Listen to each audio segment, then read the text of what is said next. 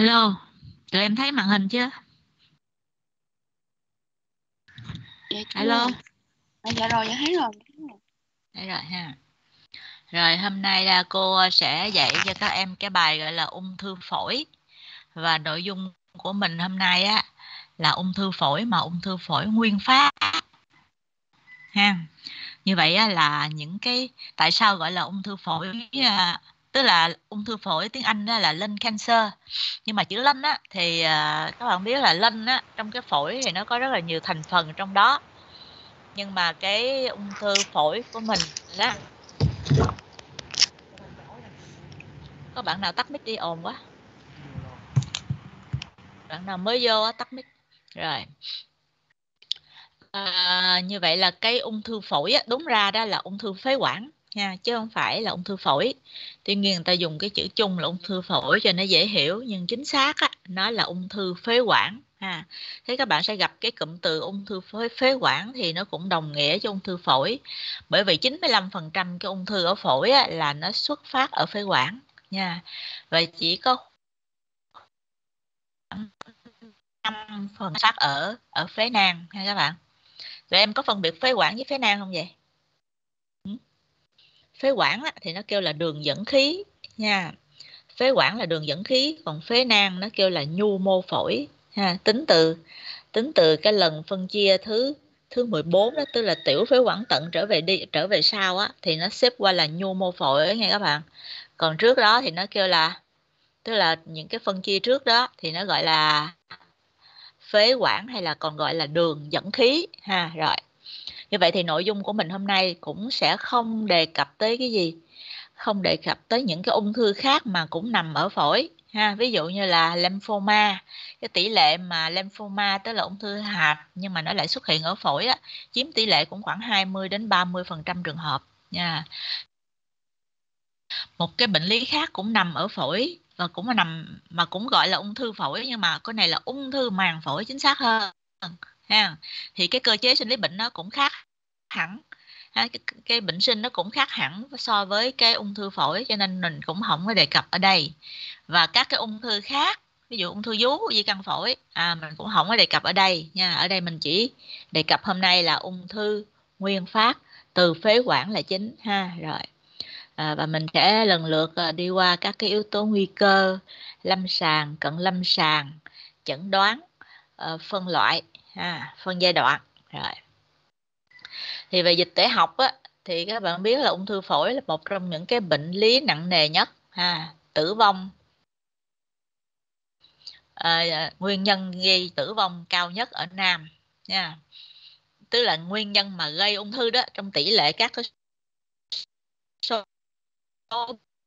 bệnh lý ung thư thì ung thư phổi chiếm nhiều nhất và nó cũng cũng gây tử vong ung thư phổi đứng thấp hơn chút đứng hàng thứ tư.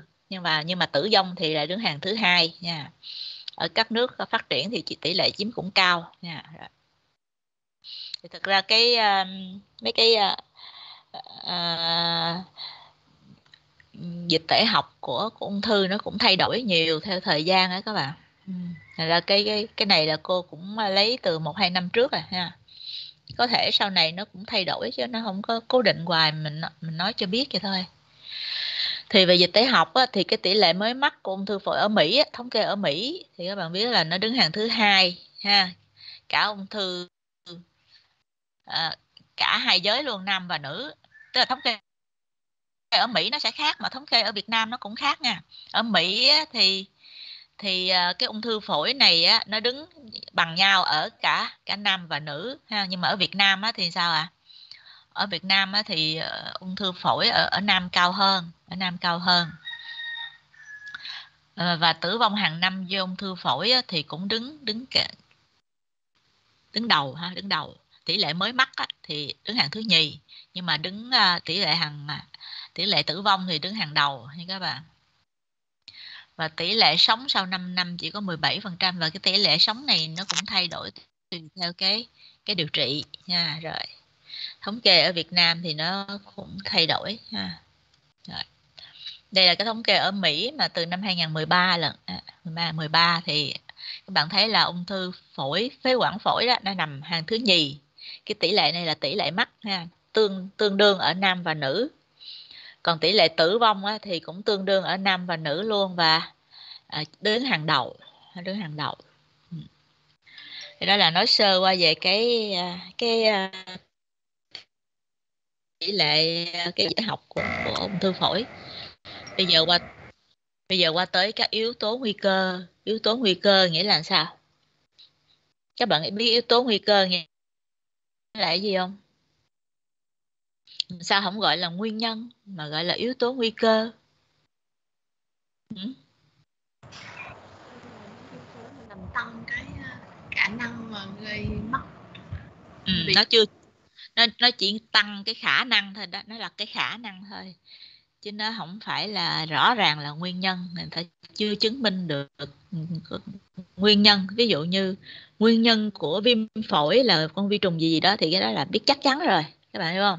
Còn cái này là yếu tố nguy cơ thôi, tức là có những cái này thì nó tăng cái khả năng mắc ung thư phổi, chứ hiện nay nó không không có xếp được kêu là nguyên nhân, ha. Rồi, các bạn sẽ thấy có những cái bài học nó ghi là etiology, ha. có khi nó ghi là risk factor thôi, những cái mà nó ghi là risk factor có nghĩa là nó chưa có chắc chắn, nó chưa có xác định, người ta chỉ nhận thấy rằng là nhiều khả năng, ha. Rồi, thì các bạn cũng biết rồi, cái khả năng hàng đầu của ung thư là là hút thuốc lá ha hút thuốc lá. À, rồi hai cái khả năng kế tiếp á, là gì? Ô nhiễm môi trường nha mà hai cái ô nhiễm mà À, à đáng lo nhất á, là ô nhiễm cái radon này nè ha. Và kế nữa là cái ô nhiễm cái asbestos nha. Còn những cái nguyên nhân còn lại thì ít gặp hơn nha, ít gặp hơn. Những cái nguy cơ còn lại ít gặp hơn như là à, phơi nhiễm với à, cái này nó kêu là gì? Hút thuốc lá thụ động á cái số 4 á các bạn cái số 4 á ha nó gọi là hút thuốc lá thụ động hay là nó còn gọi là phơi nhiễm với khối thuốc trong môi trường đó có nghĩa là thuốc lá thụ động. Nha. Genetic tức là yếu tố di truyền uh, những cái bệnh phổi khác. Và uh, từng có xạ trị trước đây ở nhất là ở cái vùng ngực ha rồi.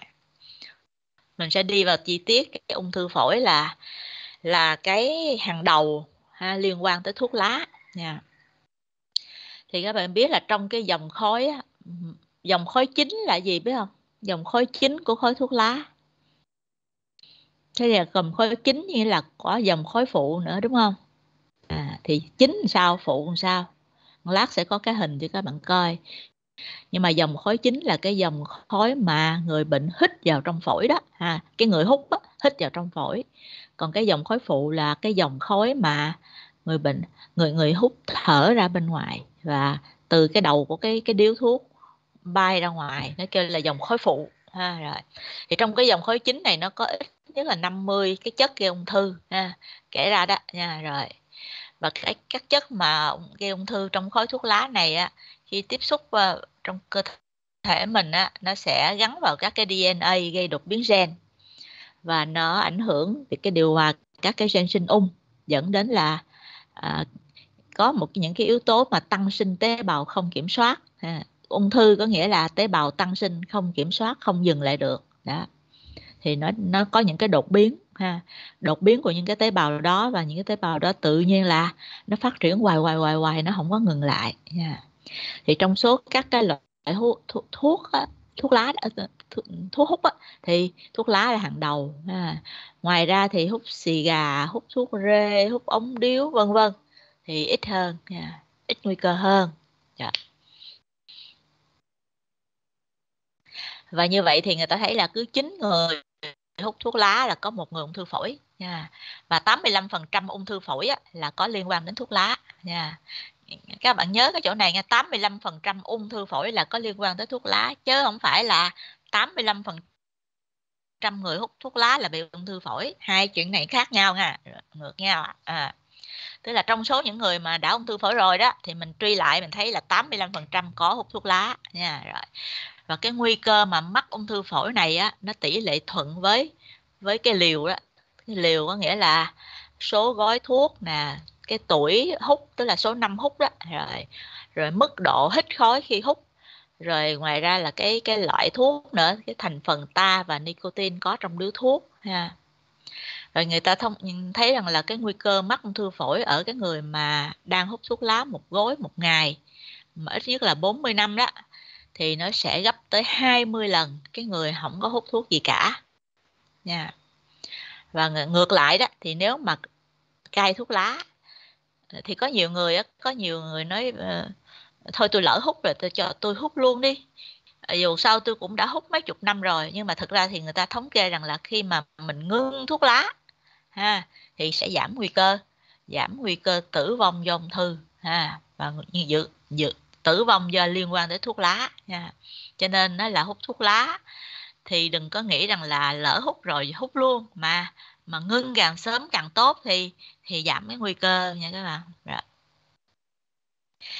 thì cái hình ở bên phải đó là cái hình mà cô mô tả là cái dòng khói phụ và cái dòng khói chính ha. Cái dòng khói phụ là cái dòng khói mà người người người hút thuốc hít vào trong phổi kêu là cái dòng khói chính. Còn cái dòng khói mà cái người hút thở ra bên ngoài và từ cái đầu của cái điếu thuốc uh, nó ra bên ngoài thì hai cái này nó gọi là dòng khói phụ. Và đây là chính là là cái gọi là hút thuốc lá thụ động à, người người bên cạnh người xung quanh hút hít cái cái khói này kêu là hút à, hít hút thuốc lá thụ động. À, rồi. À, và hít hút thuốc lá thụ động có nghĩa là hít phải cái dòng khói từ từ dòng khói phụ. Và có ít nhất 17% ung thư phổi ở người à, người người này không có hút thuốc lá gì hết nhưng mà lại có phơi nhiễm à, đặc biệt là phơi nhiễm với cái khối thuốc này mà ở tuổi nhỏ đó thì nó có nguy cũng có nguy cơ ung thư nha và nhất là trẻ em mà à, nó nó tiếp xúc với cái người hút thuốc kéo dài trên 25 năm là gia tăng cái nguy cơ ung thư phổi ha. thì mình nhớ hai này để mình à, à, tác động tới mấy cái người để để mình à, khuyên họ cai thuốc đó. À, cai thuốc không những cho họ mà còn cho gia đình ha, cho con cái nữa nha. Rồi. Đó là đối với hút thuốc lá thụ động. Còn cái những cái người mà không bao giờ hút thuốc lá thì chuyện gì xảy ra? Vẫn có ung thư nha các bạn. Vẫn có ung thư nha. Và hiện nay người ta thấy thì tỷ lệ ung thư phổi ở người không hút, hút thuốc lá đặc biệt ở nữ nó cũng cao chứ nó không phải là thấp nha nó có một cái yếu tố riêng nữa nha và trong cái tỷ lệ này á, là adenocarcinoma chiếm đa số. À không không không hút thuốc lá có nghĩa là sao? Không phải là suốt đời người đó không bao giờ rờ tới điếu thuốc lá thì gọi là không hút nha. Nó định nghĩa không hút có nghĩa là hút dưới 100 điếu thuốc. À nó kêu là định nghĩa là vậy nha, hút hút dưới 100 trăm điếu thuốc trong suốt cuộc đời á, thì gọi là never smoker nha. Rồi đó là mình nói xong về cái hút thuốc lá ha. Bây giờ qua tới gì? Qua tới những cái yếu tố khác. Nãy mình đầu tiên cô có nói đó ha dưới thuốc lá là gì? Radon và asbestos nha. Hai cái yếu tố này là hai cái yếu tố hay gây ung thư phổi đứng hàng thứ nhì. Và nó hay liên quan tới ô nhiễm nghề nghiệp và ô ô nhiễm môi trường nha.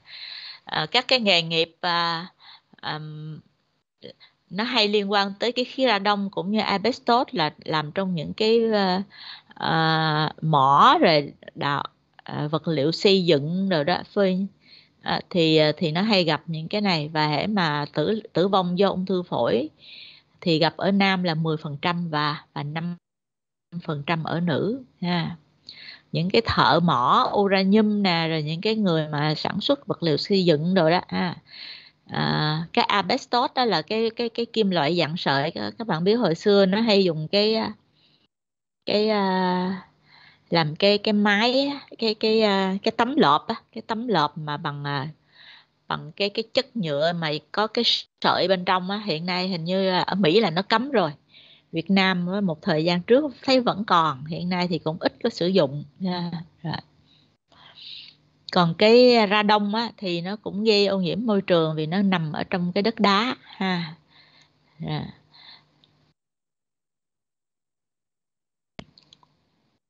rồi. các cái yếu tố khác như là tuổi giới, ha, người lớn tuổi thì dễ bị ung thư hơn à. và đối với à, à, đối với cái người mà không hút thuốc lá đó hồi nãy có nói rồi đó tức là đối với người không hút thuốc lá thì tỷ lệ ung thư phổi ở nữ lại cao hơn ở nam. Còn có hút thuốc lá đó thì thì nam cao hơn nữ. À. À, những cái bệnh lý khác cũng cũng có liên quan tới cái chuyện gây ung thư nhưng mà ít gặp.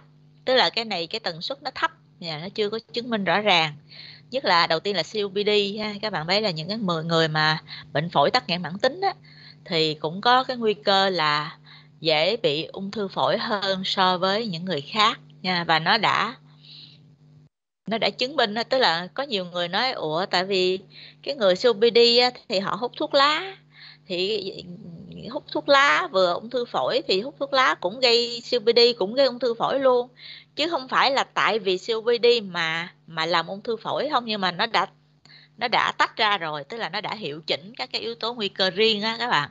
Thì nó thấy rằng là dù tách cái yếu tố uh, tách cái yếu tố thuốc lá ra thì cái khả năng cái người COPD cũng cũng dễ mắc ung thư phổi hơn. Hay là nó nói là đây là COPD là yếu tố nguy cơ độc lập của ung thư phổi nha. Tức là đã đã tách riêng ra rồi so với so với cái thuốc lá nó vẫn là cái yếu tố nguy cơ độc lập ha rồi. À, à, ngoài ra đó những cái bệnh lý khác như là sơ phổi suy giảm miễn dịch nhiễm hiv người ta cũng thấy là dễ bị ung thư phổi hơn những người khác rồi. Về cái yếu tố di truyền á, thì thực nay à, thực ra thì người ta chỉ thấy rằng là uh, trong gia đình mình à, có trong gia đình mà có người từng bị ung thư phổi đặc biệt là cái người bị ung thư phổi đó nó có quan hệ họ hàng thế hệ thứ nhất có nghĩa là ruột á ruột thịt á hàng thứ nhất tức là cha mẹ con cái á anh chị em ruột á nha. Thì à, là là là tăng cái nguy cơ ung thư phổi so với cái cái người mà gia đình không có ai bị ung thư phổi ha à, và hồi nãy giờ mình học lần lượt từng yếu tố nguy cơ đúng không? À, hút thuốc lá rồi ô nhiễm môi trường ô nhiễm nghề nghiệp rồi à, à, à, COPD rồi à, di truyền rồi vân vân ha. Bây giờ một người mà cùng có nhiều cái yếu tố nguy cơ thì sao ha? ví dụ như đây người ta thấy là nó không phải cộng ngay các bạn. Ví dụ như à, cùng cùng có ví dụ như cái người này hút thuốc lá chỉ có hút thuốc lá không thì nguy cơ ung thư phổi tăng gấp 20 lần hồi nãy có nói rồi đó ha hút bao nhiêu gói trong bao nhiêu năm đó thì cái nguy cơ ung thư phổi tăng gấp 20 lần nha mà cái người thợ mỏ không hút thuốc gì hết thì cái nguy cơ nguy cơ ung thư phổi 7 lần. Như vậy cái người thợ vừa vừa làm mỏ uranium mà vừa hút thuốc lá. cô ơi. dạ cô ơi slide cô. ơi ủa vậy hả? À sao vậy ta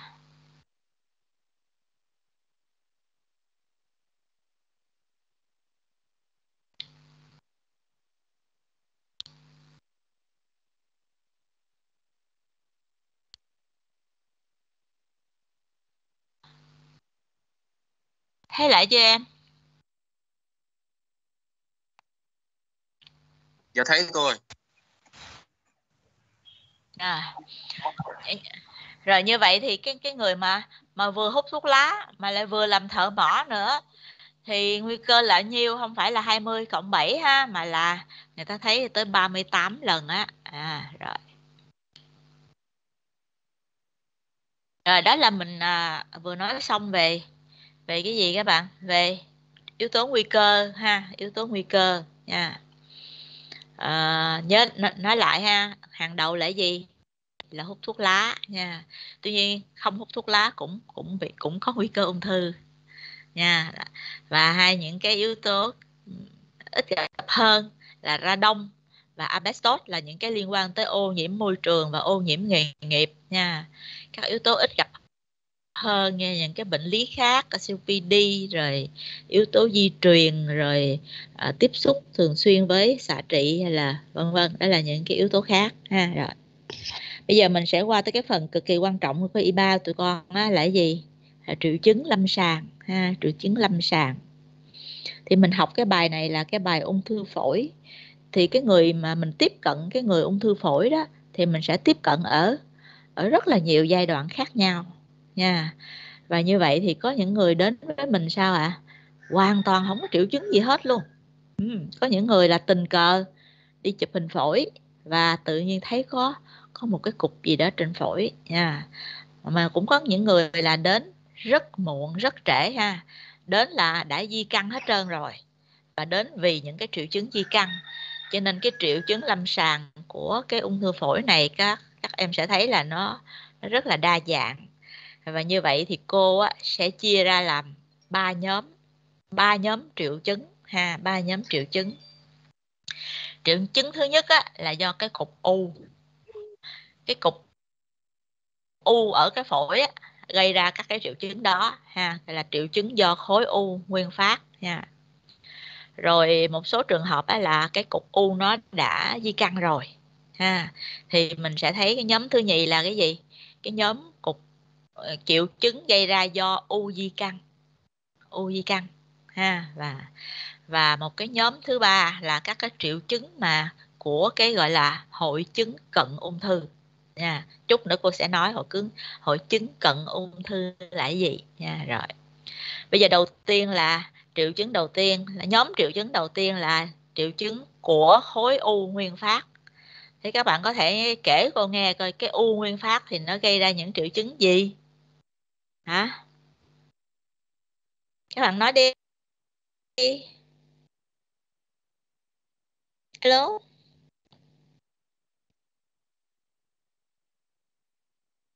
Có đứa nào nói cô nghe đi. Dạ thưa cô là đọc slide đó rồi. Đọc slide thôi không cho đọc ha. Rồi đọc đi. Nói đi. Dạ thưa cô à nãy em thấy là ho đó cô. Ho tại sao ho vậy? Dạ à, ho thì em uh, cũng không biết. Em là cái khối u thì kiểu nó tràn ép vô mấy cái đường dẫn khí. À có thể nó gây ho rồi ho nhưng mà ho ho không rồi ho gì nữa? Ho ra dạ. máu đúng không cái cục u đó nó nó tràn nó nó ở trong cái đường à, dẫn khí đó. À, nó nó gây ho ra máu. Bởi vì nó nó nó, nó ăn vào nó xâm lấn vào những cái mạch máu và nó gây ho ra máu. Ho ho ra máu. Có ho đàm không các bạn? Có. Tại sao? Tại sao có ho đàm? Ho đàm là nhiễm trùng ở đây. Tại sao lại, lại có nhiễm trùng ở đây? Tăng tiết nhảy tăng tiết dịch à, tăng tiết dịch. Nhưng mà nếu mà có nhiễm trùng nữa cũng có thể có nhiễm trùng nữa các bạn. Nó gọi là à, nó nó nó nhiễm bội nhiễm trên cái khối u á. Trường hợp những khối u mà nó gây tắc nghẽn á, rồi hậu cái tắc nghẽn phía sau cái tắc nghẽn đó cái ứ động và nhiễm trùng cũng có luôn ha. Có khi bệnh nhân đến vì cái hội chứng nhiễm trùng rồi cuối cùng giải quyết cái nhiễm trùng lồi ra lồi ra cái cục u cũng có luôn ha. Đó. Ho nè ho ra máu nè ho đàm nè rồi gì nữa. Ho họ khè à? họ khè do gì? Do cái cục u nó chèn ép trong đường dẫn khí nó làm cho tiếng khò khè là tiếng gì các bạn biết không? Tiếng của cái luồng luồng luồng không khí mà đi đi ngang qua một cái chỗ hẹp lại thì nó sẽ gây ra cái tiếng khò khè. Đúng không? Giống như mình thổi sáo vậy đó. À, cái luồng không khí đi qua một cái chỗ hẹp thì đó, đó là do những cái khối u nó chèn ép làm cho cái đường dẫn khí bị hẹp đúng không? Rồi gì nữa? À, đau ngực ha nếu mà nó xâm lấn vào cái này là có thể nó ép vô cái màng phổi ha làm cho bệnh nhân bị đau ngực ha. Rồi à, khàn tiếng ha khàn tiếng. Cái cục u này nó, nó do cái cái cái dây à, thần kinh quật ngược này nó nằm trong lòng ngực luôn và cái cục u á, nó, nó nó xâm lấn vô ha thành ra cái này mình tính là do cục u cũng được chứ chưa phải là chưa phải là di căn đâu. Tại vì cái cái cái dây thần kinh ờ, quật ngược thì các bạn biết rồi đó ha nó nằm trong trong lồng ngực nha. Rồi. À, bây giờ nó có tới mấy cái hội chứng nữa đó ha. Đây là những cái tỷ lệ hay gặp cái tỷ lệ hay gặp mà à, nhiều nhất là đau ngực với lại ho ha. nhưng mà nhưng mà các bạn thấy ho ra máu là một trong những cái chỉ chứng những cái dấu chứng chỉ điểm của của ung thư đó ở Việt Nam mình á. À, gặp ho ra máu là chuyện đầu tiên nghĩ tới gì? Nghĩ tới lao trước ha. Kế tới là là ung thư đó. Ha. Rồi bây giờ qua tới các cái hội chứng ha. Hội chứng. Hội chứng là gì? Hội chứng là tập hợp nhiều cái triệu chứng ha. Thì đây là cái hội chứng gọi là hội chứng tĩnh mạch chủ trên ha hội tấn chứng tĩnh mạch chủ trên. Các bạn nhìn thấy cái hình bên phải á, mình thấy có cái cục u ha. Cục u đó nó nó chèn ép vào cái gì? Cái tĩnh mạch chủ trên. Gây cái cái dầm cái tĩnh mạch chủ trên này nó khiến sao? Khiến có máu khiến cho cái dòng máu nó không có về tim được. Chỗ này nó bị cản rồi cho nên sao? Nó gây phù. Phù vậy là phù áo khoác ha tức là phù ở, ở cái vùng ngực thôi. Ha giống như là người ta bận cái áo khoác vô ha kêu là phù áo khoác. Tức là chỉ có phù ở cái vùng ngực và kèm theo gì? Tuần hoàn bằng hệ ha tức là do do nó về tim không không, không có dễ dàng nó bị ứ động và nó tạo thành những cái những cái tuần hoàn bằng hệ ha đó. À, ngoài ra thì có thể gặp thêm cái khó nuốt nha thêm cái khó nuốt ha. Gặp 4% ở ung thư phổi NSCLC á, là dịch tiếng viết tắt của cái gì biết không? Ung thư phổi không tế bào nhỏ. Còn SCLC là ung thư phổi tế bào nhỏ, ha. Thì lát nữa tụi con sẽ học cái này kỹ hơn nha. Rồi. Như vậy thì mình sẽ thấy là đây là cái hội chứng tĩnh mạch chủ trên, biểu hiện bằng gì? Phù áo khoác, ha, tuần hoàn bằng hệ và bệnh nhân khó thở, nha. Do cái cục u chèn ép vô tĩnh mạch chủ trên, ha, rồi một cái hội chứng khác nữa đó là hội chứng Pancos nha. Hội chứng Pancos này á, là cái cục u á, nó nằm ở cái vùng đỉnh phổi. Nha. Nằm trên cái vùng đỉnh phổi này á thì nó nó chèn ép vào cái rễ. Ở đây nó có cái nó có cái à, cái đám rối đám rối thần kinh cánh tay ha. À, và làm cho và và và cái cái cái khối u này nó nó chèn ép vào những cái rễ thần kinh khiến cho bệnh nhân sao? Bị đau ở ở cái vùng cánh tay mà ở đâu? Ở mặt trong cánh tay cẳng tay đến hai cái ngón tay cuối là ngón tay út và ngón tay áp út á ha. Thành ra là đôi khi bệnh nhân đi khám đau tai các bạn bệnh nhân đi khám đau tai chứ không phải đi khám phổi gì trơn á. Sao tự nhiên hai cái ngón tay ngón út và ngón áp út nó bị tê và nó đau? À, thì cái này mình phải biết để để mình nghĩ tới mình không không biết, không bao giờ mình nghĩ tới hết nha. Thì thấy những cái triệu chứng này thì lập tức phải phải cho bệnh nhân đi chụp hình phổi, ha. Chứ không phải là đi ờ, đi cho uống thuốc giảm đau ờ, trị suốt cái cái tê hoài của người ta mà mình không biết tới cái triệu chứng, cái hội chứng Pancos này, ha. Rồi. một cái ờ, một cái hội chứng nữa nó gọi là hội chứng Ortner ha hội chứng Ortner này á, là cái khối u này nó nằm ở cạnh cái cái thành ngực á. Ở đây nó có cái có cái hệ thần kinh giao cảm hay các bạn. Và cái khối u nó chèn ép vào cái thần kinh giao cảm này á, thì nó gây ra cái hội chứng Ortner tức là gì? Sụp mi ha. À, à, cái hình ở trên đó các bạn thấy là cái cái mi mắt ở bên ở bên phải bị sụp nha. Và cái đồng tử co nhỏ hơn và mình hỏi người bệnh thì sẽ thấy nửa bên mặt nó bị nó bị nóng hoặc ừ, nóng và khô khô, tức là ít ít tiết mồ hôi hơn so với nửa mặt còn lại, ha. Thì đây là cái hội chứng nơ. Ba cái hội chứng này là ba cái hội chứng rất là đặc biệt của của ung thư phổi nha. Và nãy giờ là mình nói gì ạ? Mình nói cái cái khối u của của triệu chứng lâm sàng của cái khối u nguyên phát, ha. Nãy giờ giờ là triệu chứng lâm sàng của u nguyên phát không đó nha các bạn? Nha. Rồi bây giờ mình qua tới gì? Triệu chứng lâm sàng của của u di căn. Thì à, theo các bạn là cái khối u à, ung thư ở phổi á, nó sẽ di căn đi đâu? À, nếu mà nó xâm lấn thì không tính nhưng mà nó sẽ cho những cái di căn xa nữa ha. Tức là nếu mà nó gần thì gọi là xâm lấn mà xa thì thì gọi là di căn xa, nha. Thì nó có thể theo theo đường lympho tới các cái hạch, nha. Hạch hạch ở gần đó, mình sẽ sờ thấy hạch nách, hạch thượng đòn, hạch cổ, nha. Hoặc là đi theo đường máu thì đi căn, di căn rất là xa, ha, di căn rất xa. Mà bốn cái chỗ mà hay di căn nhất là gì ạ? À?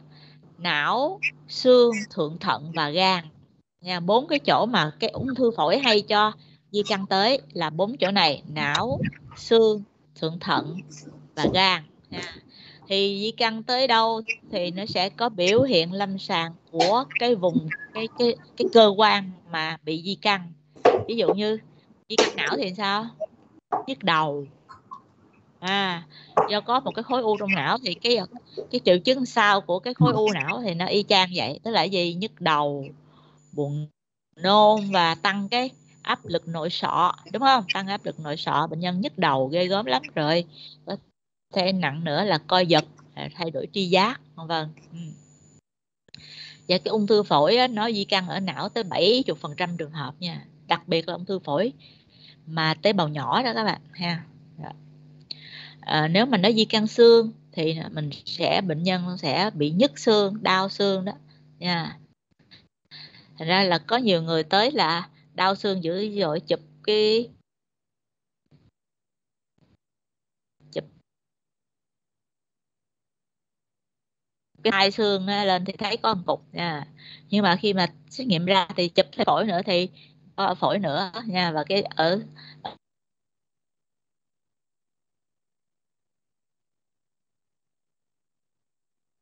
ờ, di à, nếu mà di căn gan thì mình sẽ thấy là thường có hiệu uh, bệnh lý uh, những cái triệu chứng của các bạn. Hội chứng cận ung thư á, là không phải gây ra do cục u à, không phải gây ra trực tiếp từ cục u mà cái cục u này á các tế bào ung thư từ của cái cục ung, ung thư này nè nó tiết ra những cái hóa chất nha. rồi cái hóa chất này à, nó đi vào trong máu, nó đi đến tác động đến nhiều cơ quan và nó gây ra những những cái những cái triệu chứng tùy theo các cơ quan đó, thì nó gọi là hội chứng cận ung thư nha rồi. thì các cái hội chứng cận ung thư, nó nó chỉ có một đồ liên quan tới ung thư phổi á, nó có một số cái hội chứng cận ung thư mà các bạn cần phải biết ha thì à, một chút nữa cô sẽ nói là ung thư phổi à, nó chia làm hai đó, là ung thư phổi tế bào nhỏ và ung thư phổi không tế bào nhỏ. Thì đối với cái nhóm mà ung thư phổi tế bào nhỏ đó, thì nó rất là hay gây ra các cái các cái hội chứng cận ung thư. Còn ung thư phổi mà không phải tế bào nhỏ thì nó lại ít gây hơn. Nha đây là cái đặc điểm ha. đặc điểm của cái nhóm ung thư phổi tế bào nhỏ là nó hay có cái hội chứng cận ung thư lắm luôn, nha. Và ba cái hội chứng cận ung thư mà hay gặp đó là gì? Tăng tiết ADH không thích hợp nha. Tức là do cái tuyến yên á tức là cái cái khối u á nó tiết ra. À, cái này là ghi lộn rồi đó. Không phải tuyến yên tiết ra mà là khối u tiết ra cái chất giống tuyến yên. Nha. Khối u á tiết ra cái chất giống tuyến yên. À, à, à, là làm cho nó tăng tiết quá nhiều ADH ha. Là và và cái cái ADH này nó nhiều quá thì sao? Nó làm hạ natri máu tăng natri niệu và giảm cái áp lực thẩm thấu. Hoặc là cái khối u nó tiết ra cái chất giống như là ACTH ACTH là cái chất mà của cái tuyến thượng thận tiết ra. Bây giờ cái khối u nó giả bộ nó tiết ra giống vậy. Nó gây ra cái hội chứng giả sinh ha tăng natri máu và giảm kali máu tăng đường huyết. Thì à, mình cũng sẽ hỏi là ủa tại sao à, như vậy thì mình sẽ lầm với cái ung thư di căn thượng thận? À, thì lúc này mình sẽ phải có hình ảnh học kèm theo ha. Nếu mà cái uh, cái hình ảnh học của cái thượng thận nó siêu âm đó mình thấy hoặc là CT bụng á mình thấy cái thượng thận không có à, nó bình thường không kích thước, kích thước bình thường thì cái này gọi là hội chứng cận ung thư nha. Còn nếu mà nó di căn thì mình sẽ thấy nó khác ha thấy có cái khối u ở ở à, tuyến thượng thận. Nha à, một cái hội chứng khác nữa đó là cái hội chứng Eaton Lumber ha là à, nó à, nó tiết ra những cái hóa chất trung gian để làm ức chế cái kênh canxi tiền synap ở chỗ nối cơ thần kinh và người bệnh bị bị nhược cơ ha. Tới tự nhiên sau tay chân tôi yếu xìu ha. À, đo cái sức cơ thì rất là yếu. Đo cái à, lực cơ thì cũng giảm luôn. Và à, đây là cái hội chứng gọi là Eaton Lumber. Nha thì đây là ba cái hội chứng. Ở bên ba cái cái hội chứng à, hội chứng cận thư hồi nãy là cái hội chứng ba cái hội chứng nãy đúng không? Bây giờ là ba hội chứng khác nữa các bạn thấy không? Là sáu hội chứng rồi đó ha. Ba cái hội chứng đầu là gì? Là của cục u nguyên phát nha. Là gì? Là tĩnh tĩnh mạch chủ trên nè. À, pancreatitis là u đỉnh phổi nè rồi hội chứng Ortner là nó xâm lấn thần kinh giao cảm, là ba cái hội chứng của cái u nguyên phát tại phổi. Còn cái này là ba cái hội chứng liên quan tới cận ung thư, ha. Bao gồm là tiết ADH nè, tiết ACTH và Eaton Lumber, nha. Rồi, bây giờ đối với cái ung thư phổi, đây là của cái ung thư phổi tế bào nhỏ. Còn cái ung thư phổi mà không tế bào nhỏ thì nó có hội chứng cận ung thư không? Có, ít, nha chỉ có một cái hội chứng cận thư hay gặp đó là tăng tiết PTH PTH là gì các bạn? Là parathyroid á tức là cận giáp ha cái tuyến cận giáp nha. Tế bào ung thư nó tiết ra một cái protein giống như là cái PTH này. Nha. nó làm cho cái canxi máu tăng lên nha à, mình sẽ phân biệt với cái trường hợp mà tăng canxi máu trong trường hợp à, ung thư di căn xương nữa nha. Hai cái này nó cũng giống giống nhau rồi đó mình phải kiểm tra tức là phải à, xạ à, chụp à, chụp cái cái à, xạ hình xương đó để coi là nó có ung thư di căn xương hay không. Nếu không có thì thì đây là hội chứng tăng PTH à, ngoài ra cái hội chứng cận ung thư nó cũng liên quan tới các khác như có thể tự nhiên tăng bạch cầu ha. Mình thấy bạch cầu tăng tới mấy chục ngàn rồi là giả giả leucemia luôn.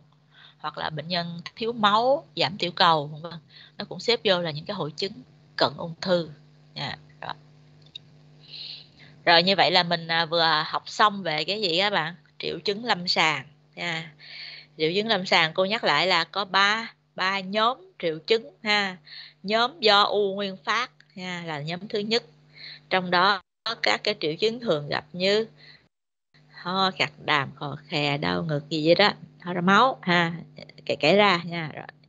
À, và ba cái hội chứng à, ba cái hội chứng cũng do u nguyên phát ha hội chứng tĩnh mạch chủ trên hội chứng pancos hội chứng Horner nha rồi rồi qua tới cái nhóm thứ nhì là nhóm gì? Nhóm uh, triệu chứng gây ra do u di căn ha. U di căn thì có thể di căn theo đường lympho xuất hiện các cái cục hạch ha tượng đòn hạch nách thì gì đó hạch trung thất vân. Và cái nhóm thứ hai là di căn theo đường máu di căn xa tới bốn vị trí là gì? Não xương thượng thận và gan trong đó não đại đa số 70% ha rồi và cái nhóm thứ ba là nhóm hội chứng cận ung thư ha. nhóm hội chứng cận ung thư là à, do cái cục u à, các cái tế bào ung thư đó nó tiết ra các cái hóa chất và nó tác động nó nó giả giống như những cái cái hóa chất của các cái cái cái cái uh, cơ quan trong cơ thể mình ha. Và đối với ung thư phổi tế bào nhỏ có ba cái hội chứng cận ung thư là tăng tiết ADH tăng tiết ACTH và gì nữa? Hội chứng à, nhược cơ ha gây nhược cơ Eaton Lambert. Yeah, rồi. còn hội chứng à, đối với ung thư phổi không tế bào nhỏ thì có thể gây ra tăng canxi trong máu ha tăng tiết PTH đó hoặc là các cái ảnh hưởng trên cái hệ huyết học như là gì? Như là tăng bạch cầu quá mức à, giảm tiểu cầu vân vân nha. Rồi. đó là nói xong về triệu chứng lâm sàng ha các bạn triệu chứng lâm sàng. Nhưng mà còn nhớ một câu nữa là gì? Bệnh nhân có thể không có triệu chứng gì hết ha. Bệnh nhân tới với mình hoàn toàn không có triệu chứng gì hết nha đó cũng rất là quan trọng nha rồi. Mình phải hiểu mình phải nhớ cái chỗ đó để mình biết rằng là tiếp cận một cái cục u không có đơn giản. Rồi. bây giờ khi mà mình thấy tình cờ tình cờ hoặc là cố tình thấy được là có mấy cái cục u thì mình phải cái thứ nhì quan trọng là phải có cái hình ảnh học nha hình ảnh học nha. À, bắt buộc phải hình ảnh học. Cái đó cái này là hết sức quan trọng ha thì cái hình ảnh học chúng ta sẽ thấy cái gì? Cái cục u ở trong phổi. Nha và như vậy thì tùy cái kích thước nha các bạn. Cục u mà nó lớn trên 3 cm đường kính thì gọi là u mass đó, nha, gọi là u.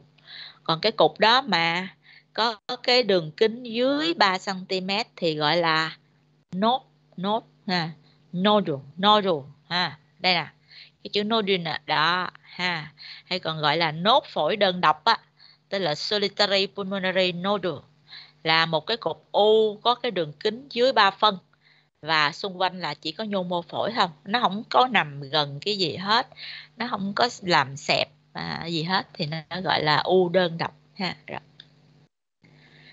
như vậy á, thì khi mà mình đầu tiên á, thì lúc nào cũng vậy thông thường á, là mình sẽ phát hiện bằng cái x quang ngực ha. Đại đa số trường hợp là chúng ta sẽ phát hiện bởi cái x quang ngực nha. Nhưng mà x quang ngực thì sao? Không có đủ chỉ để phát hiện thôi. Và khi mình có x quang ngực rồi thì bắt buộc các bạn phải chỉ định CT scan. Cái này là bắt buộc ha. Và CT scan phải gì nữa hả? Phải có cản quang ha bắt buộc phải chụp có cản quang nha. Để làm chi vậy? Lát nói nha. Rồi. Và trong cái chụp CT đó mình thấy cái gì ạ? Mình sẽ quan sát 6 cái yếu tố nè. À, trên cái trên cái phim CT scan đó các bạn sẽ phải xem xét 6 cái yếu tố này của cái cục u đó. Ha thứ nhất là vị trí thứ hai bờ thứ ba đậm độ thứ tư vôi thứ năm kích thước và thứ sáu thời gian nhân đôi. Tất cả các yếu tố này mình ghi nhận trên hình ảnh học nha các bạn. Dạ. Đầu tiên là vị trí nha. Vị trí thì mình sẽ coi là mình phải nhìn ở, ở ba mặt cắt ha. Các bạn coi là ồ thiếu cái hình ta như vậy mình thấy là trên cái phim city đó nó sẽ có ba cái ba cái mặt cắt nha. À, mặt cắt ngang rồi mặt cắt đứng dọc rồi mặt cắt đứng ngang. Thông thường á cái phim mà họ in ra cho mình á, thì hừng chỉ có cắt ngang thôi. Một số nơi ví dụ như medic rồi đó nó kỹ nó cắt thêm đứng dọc dọc nha. Nhưng cái này là mình có thể yêu cầu còn nếu mà cái phim CT mà nó để nó lưu trên phần mềm á thì các mình coi được hết nha coi được hết. Rồi. như vậy thì mình sẽ dựa để mình à, dựa trên cái cái cái này để mình đánh giá là cái cục u nó nằm ở đâu ha. Nằm ở thùy nào phân tùy nào ở trung tâm hay ở ngoại biên nha. Rồi. Và các bạn biết là à, ở trên cái cục u mà nằm ở trên cái cục u nằm ở dưới á thì cái nào nguy cơ ung thư cao hơn. Thường là phía trên nha các bạn. Thùy trên ha. Đại đa số các trường hợp ung thư phổi 70% trường hợp ung thư phổi là nằm ở thùy trên ha. Như vậy vậy thì cái tỷ lệ thấy một cục u mà nằm ở thùy dưới thì mình sẽ nghĩ tới khả năng ác tính thấp hơn là cục, cục u ở thùy trên nha bây giờ qua tới bờ ha một là vị trí hai là bờ nha. Thì à, đây là các cái bờ người ta kể ra đó có bốn loại bờ của khối khối u. Ha thì cái bờ đầu tiên các bạn thấy là gì? Bờ trơn láng nha bờ trơn láng. Cái này gọi là bờ đa thùy nha à, cũng láng nhưng mà nhưng mà nó có nhiều cái cái thùy ha. Cái này kêu là bờ lượng sóng răng răng răng. Và này là bờ tua gai nha. Thực ra nó kể ra chứ còn mình hai cái lượng sống tua gai này mình thấy nó cũng hơi hơi giống giống nha. Rồi. Như vậy thì trong bốn cái loại bờ này á, chỉ có cái bờ đầu tiên á, là thấy yên tâm nha. Vì khả năng lành tính cao nha. Ba cái anh còn lại thì khả năng đều có khả năng ác tính hết nha. Ba cái anh còn lại đây là cái hình thực tế trên phim cho các các bạn thấy ha. Đây là đây là bờ trơn láng đây mình thấy cái đường. Cái cái cái đường nó rất là smooth đúng không? À, còn đây là nó răng răng răng răng. À, và cái này là tua gai nè cái này ung thư chắc luôn nè. Ha ung thư chắc luôn y chang như là cái con nhện đó. Ha.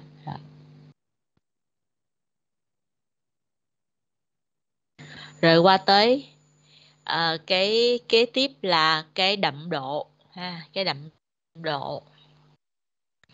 Thì cái cục u á người ta chia ra làm hai loại là đặc đặc và bán đặc trong cái bán đặc á, thì nó lại chia làm hai nữa. Là trong cái bán đặc này á, nó lại chia là đặc solid tức là đặt một phần à, à, và uh, poor ground glass tức là kính mờ kính mờ yeah. thực ra chia vậy cũng rắc rối ha giờ mình chia ba đi nha các bạn. Chia ba. À, là cái gì? Solid bạc solid và và kính mờ à ha rồi. Và cái cái nguy cơ ác tính của ba cái anh này nó cũng khác nhau ha. Kính à, cái bạc solid này á, thì các bạn thấy là là gì? Ở cái cục đặc nằm ở giữa và và xung quanh nó tổn thương nó gọi là kính mờ ha thì khi nào à, dạy cái không không biết học cái bài x quang chưa? Hay là bài CT ta? Để các bạn tìm cái bài mà cô dạy CT đó các bạn sẽ thấy cô giải thích là kính mờ nghĩa là sao nha nhưng mà mình sẽ thấy là cái đậm độ của nó nó sẽ mờ hơn ha. Mờ hơn so với cái cái cái vùng nó gọi là đặc như vậy ha. Đó đặc. Và xung quanh xung quanh thì à, ở giữa là đặc và xung quanh là kính mờ. Và cái tổn thương mà ở giữa đặc và xung quanh mờ này nó còn dùng một cái chữ khác là gì các bạn biết không? Gọi là vần hào quang nha vần hào quang nha thấy không? Giống như cái vần hào quang vậy đó. À, rồi. Và giữa cái đặc với lại cái bán đặc với lại cái à, ground glass tức là cái kính mờ hoàn toàn á thì cái khả năng nào ác tính hơn? Cái thằng bán đặt á, nó có khả năng ác tính cao hơn so với với cái anh đặt nha, đó. đó là cái cái đậm độ ha. Nãy giờ mình ba đặc điểm là đặc điểm thứ nhất là vị trí, ha. Thứ hai là cái gì? Bờ. Ví dụ tới đậm độ, ha. Bây giờ, đây đây là cái hình các bạn cho thấy rõ cái đậm độ mình. Cái này là cái hình giả, đúng không? À, nãy hình giả nè. Đó bây giờ cái hình này là hình thiệt trên phim CT như vậy nó gọi là đặc này các bạn. À, đặc ha. Rồi. còn đây là bán đặc nè ha. Bán đặc là có cái cục đặc ở giữa và cái kính mờ xung quanh nè.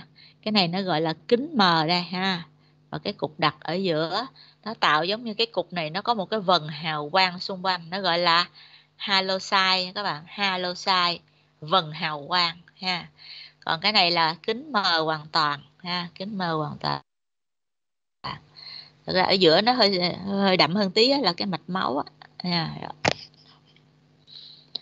À, và bắt buộc là mình phải tiêm thuốc cản quang ha. Thì thật ra đó à, tiêm thuốc cản quang để làm gì?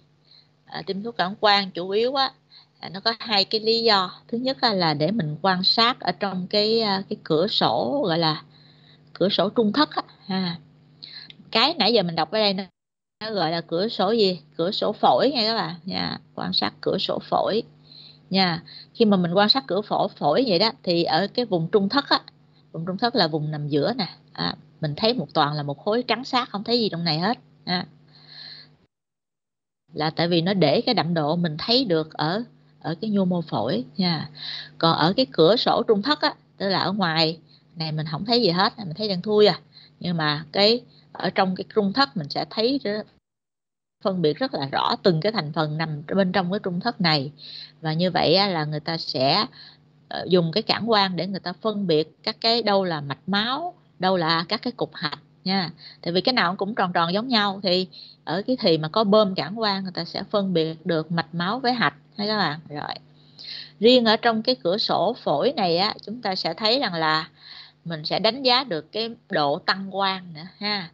Tức là trước khi tiêm cản quang và sau khi tiêm cản quang mà cái cục u đó nó tăng quang trên 20 đơn vị Hounsfield thì cái khả năng ác tính cao.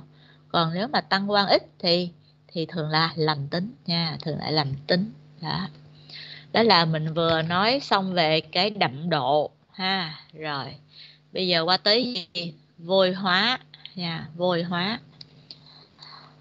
Thường thường ở ban đầu á, thì hồi đó giờ là mình nói tới vôi quá nghĩa là cái gì đó nó lạnh. Nha. Giống như sẹo rồi nó tạo canxi hóa, gọi là lành tính. Tuy nhiên khi mình học bài này xong thì mình sẽ thấy rằng không phải là vôi là vôi hóa có nghĩa là lành tính hết đâu. À và người ta chia ra là sáu kiểu vôi hóa nha. Sáu kiểu vôi hóa như trên hình đó. Thì bốn kiểu phía trên thì là lành tính nha. Nhưng mà hai kiểu dưới á, thì nó gọi là nghi ngờ tức là không xác định indeterminate indeterminate gọi là không xác định đúng không? Dạ. Và đây là cái hình thật ha thì đây là cái vôi quá nó gọi là vôi hóa trung tâm nha. Cái này là vôi quá nhiều lớp hay nó còn gọi là củ hành đó các bạn. À, nó có nhiều lớp nhiều lớp. Cái này là vôi quá hết luôn nguyên cục này là vôi quá hết luôn.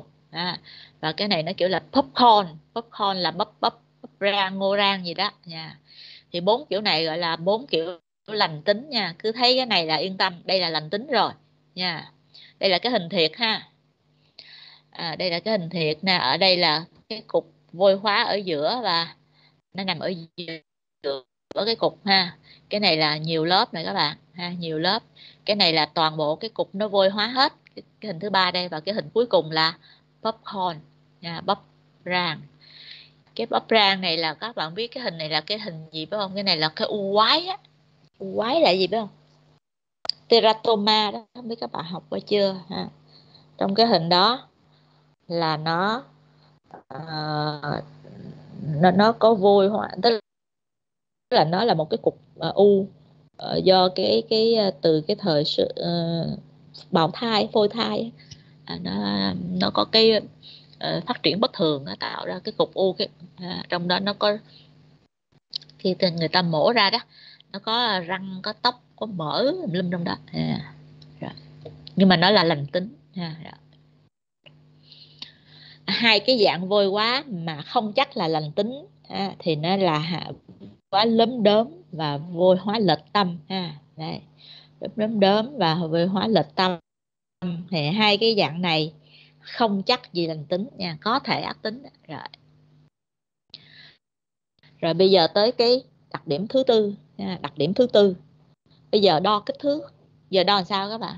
Cục tròn á, thì mình đo dễ đo đường kính của nó đúng không? Thì cái cục tròn mình đo đường kính dễ ợt nhưng mà cái cục dài thì đo làm sao? À. Cái cục dài đo làm sao? À, xin lỗi là cái này cô à, viết hơi sai. Cô cô sẽ sửa lại bài rồi cô gửi lại cho các em nha. Cái này không phải là trung bình của hai đường kính lớn nhất nha. Trung bình của cái đường kính lớn nhất. Và bây giờ một cái cục dài như vậy á, thì à, mình đo mình lấy cái đường kính lớn nhất của nó trung bình của cái đường kính lớn nhất và cái đường kính vuông góc với đường kính đó. Chỗ này là góc vuông nha thành ra là mình sẽ thấy mình chọn cái đường kính nào dài nhất mình đo cái xong rồi mình lấy vuông góc với cái đường kính đó rồi mình lấy trung bình của hai cái đường kính này là đường kính của khối u nha đối với cái cục đặc hoặc là cái cục kính mờ còn đối với cái cục bán đặc thì mình phải đo cái cái, cái kích thước của cái khối mờ xung quanh á chứ mình không được đo cái cục u nhỏ bên trong. Nha các bạn. Rồi. À, cái cuối cùng nó gọi là cái thời gian nhân đôi ha. Thời gian nhân đôi là cái gì? Cái thời gian mà để cho cái cục u á nó tăng gấp hai lần. Nhưng mà nhớ là tăng gấp hai lần về thể tích chứ không phải tăng gấp hai lần về về diện tích nha. Cái mà mình nhìn thấy trên phim đó nó là diện tích nha. Cho nên rằng là phải tăng gấp hai lần mà mà về thể tích. Cô ví dụ một cái cục u á, ở đường kính nó là 2 cm nha thì mình chờ à, mình nói rằng là nếu mà đợi nó tăng gấp đôi về mặt diện tích là tới 4 cm nha nhưng mà 4 cm thì cái thể tích nó lên là rất là rất là nhiều 4 nhân 4 nhân 4 à còn à, à, nhân đôi về mặt thể tích thì các bạn sẽ thấy là cái cục u cái đường kính ban đầu á đó là hai phần ha. À, thì người ta người ta thấy khoảng khi mà nó chỉ tăng lên cái đường kính nó chỉ khoảng từ 2,3 tới 2,5 cm thì cái thể tích của nó đã tính ra là đã gấp đôi rồi. Các bạn về các bạn tính đi nha. Lấy cái công thức tính thể tích nhân lên nha. Nó có cái công thức gọi tính pi trong này đó ha. Thì các bạn tính là như vậy á, thì khi mà mình đo cái cái cái đường kính của cái cục u á mình không có đợi tới nó gấp đôi nha mà chỉ cần 2,3 ví dụ 2 2,3 là đã gấp gấp gấp đôi rồi đó nha. Dạ. Bây giờ cái thời gian tính làm sao? Thời gian gấp đôi tức là mình thấy trước giờ gấp đôi lên thì cái thời gian á nhân đôi là cái thời gian đó. À, cái thời gian để từ cái lúc ban đầu tới cái lúc uh, nó nhân lên gấp đôi về mặt thể tích á thì nếu mà cái thời gian đó khoảng 60 đến 80 ngày á thì cái khối u này á thường là u ung thư phổi tế bào gai hoặc là tế bào lớn. Tức là nó cũng tùy thuộc vào cái loại loại ung thư đó các bạn. À, à, hoặc là nếu mà nó khoảng 3 tháng á ba bốn tháng vậy đó thì là tế bào tuyến. Nha tế bào tuyến. Còn nếu mà à, cái thời gian nhân đôi nó chỉ khoảng 30 ngày thôi thì 30 ngày là mới có một tháng là đã đã bự gấp đôi có nghĩa là cái cục u này nó phát triển rất là nhanh nha nó phát triển rất là nhanh. Và như vậy thì cái, cái nếu mà à, các một lát nữa các bạn sẽ thấy mình lại nãy giờ nói nhiều lần rồi đó ung thư chia làm hai nhóm là ung thư tế bào nhỏ và ung thư phổi. Không tế bào nhỏ thì tại sao mình chia như vậy? Bởi vì cái ung thư phổi tế bào nhỏ này cái diễn tiến nó cực kỳ cực kỳ nhanh cho di căn sớm và diễn tiến phát triển cái cục u phát triển rất là nhanh. Cho nên cái thái độ xử trí của mình nó khác hẳn so với cái cái ung thư tế bào không tế bào nhỏ vì vậy người ta mới chia ra hai nhóm vậy đó.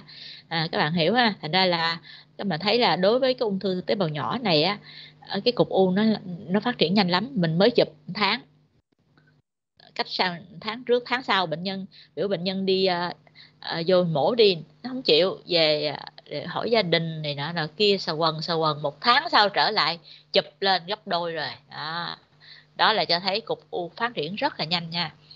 À, nhưng mà một cái đặc biệt đặc biệt nữa là nếu mà nó nhanh nữa nó nhanh hơn nữa là ví dụ như nó tăng gấp đôi mà à, trong vòng 20 ngày thôi nó đã tăng gấp đôi thì làm sao?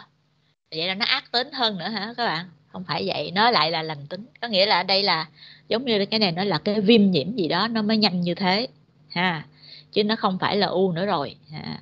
hoặc là nó rất là chậm nè nó rất là nhanh, hoặc là nó rất là chậm thì thì là nó lành tính ha, rất là chậm tức là 400 ngày, tức là hơn một năm sau ha.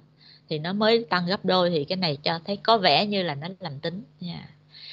và người ta thấy là nếu mà suốt 2 năm trời mà nó không có thay đổi kích thước thì thì khả năng lành tính là không có mình không cần theo dõi tiếp. Nha thì một lát mình sẽ qua cái chỗ gọi là lịch theo dõi đối với cái khối u. Thì bao lâu mình sẽ theo dõi một lần nha. Nếu mà theo dõi bao lâu mình thấy nó bình yên nó y vậy hoài thì bao lâu mình không theo dõi nữa nó có cái lịch nha. Rồi rồi đó nãy giờ là mình quan sát cái cục u và gì các bạn? Sáu cái đặc điểm của cái cục u phổi gồm có gì vị trí bờ. Đậm độ vôi quá kích thước và thời 12 là sáu. Cái đặc điểm mà chúng ta cần phải nắm được nha. Ngoài ra thì chúng ta còn phải xem xét các cái yếu tố khác xung quanh ha. À, như là có di căn hạch chưa có chèn ép phế quản có xẹp phổi có tràn dịch màng phổi. Đây là có tràn dịch màng phổi này cái hình dưới nè các bạn. Tràn dịch màng phổi bên bên phải nè ha. À, hoặc là à, gây hủy xương sườn ha mình phải nhìn được hết trên cái phim phim CT nha. Xâm lấn màng phổi xâm lấn màng tim nha rồi vân vân. Thì xem xét hết các cái tổn thương liên quan xung quanh nha rồi. À, một cái hình ảnh học khác nữa đó là cái PET ha PET mà bây giờ người ta không có PET không nữa mà là PET CT nha PET CT thì à, nó dùng cái nguyên lý là nó dùng cái à, FDG à, để nó đo lường cái chuyển hóa của cái tế bào này để để người ta đánh giá coi là u lành u ác nha. Thì à, test này là chỉ sử dụng trong những trường hợp mà khối u nó còn nhỏ và khó tiếp cận đó. À, thì người ta chụp PET để người ta đánh giá coi là cái khả năng ác tính là bao nhiêu à, thì nó có cái độ nhạy cũng 89 phần trăm nha nhưng mà đối với trên dạng kính mờ thì cái cái độ nhạy nó thấp nha cái đặc thì nó, nó nó độ nhạy nó cao hơn và nó cũng có những cái dương tính giả ha. Thì ở Việt Nam mình ở Sài Gòn á, là có chợ rẫy làm nè. Các bạn biết giá nó rất là cao ha. Giá cao nhiều biết không? Ba chục triệu cho bằng một lần chụp à. thành ra là cũng uh, cũng ít ít ít có khi chỉ định trừ những trường hợp mà khó quá ha chỉ định. Rồi à, như vậy là mình à, xong triệu chứng nè hình ảnh học nè ha. Bây giờ bây giờ qua tới một cái một cái khác tức là mình làm sao mình tiếp cận nó. À, mình gặp một khối u thì mình làm gì đó? Ý là vậy. À, thì đầu tiên á, là mình phải nhận định cho cho được cái cái khả năng ác tính. Nãy giờ cô hay nhắc đi nhắc lại cái khả năng ác tính của cái cục u. Thì mình phải hiểu để mình đánh giá ha, được cái khả năng ác tính của cục u. Nha. Nếu mà cái cục u này á khả năng ác tính nó thấp lắm. Nha cục u nhỏ xíu. À, bệnh nhân này trẻ không hút thuốc lá gì hết. Thì sao? Theo dõi nha theo dõi. Bây giờ cái cục u này mình thấy chà 50 50 không biết, có thể ông này cũng có thuốc lá nè. Rồi cục u này nó cũng hơi bự bự. Cái nhìn, cái hình thể, cái độ độ, cái bờ này nó cũng nghi nghi. Không biết làm sao, không biết lành hay ác. Cái này thì mình phải làm gì các bạn? Mình phải chẩn đoán nha.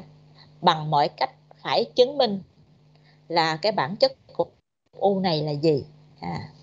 và nếu mà nguy cơ cao quá, không chờ được, hoặc là bệnh nhân hoặc là làm các cái kỹ thuật chẩn đoán không đạt được những cái kết quả như mong muốn, thì chúng ta có thể vừa phẫu thuật, vừa chẩn đoán nha.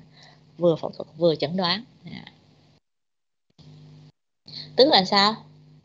Vừa phẫu thuật, vừa chẩn đoán là sao? Các bạn hiểu không?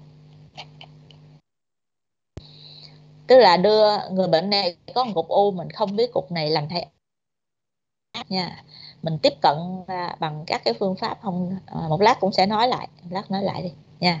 Hồi giờ qua cái nguy cơ đây lát cô nói lại cái vụ vừa vừa à, vừa chẩn đoán mà vừa à, điều trị đó sao?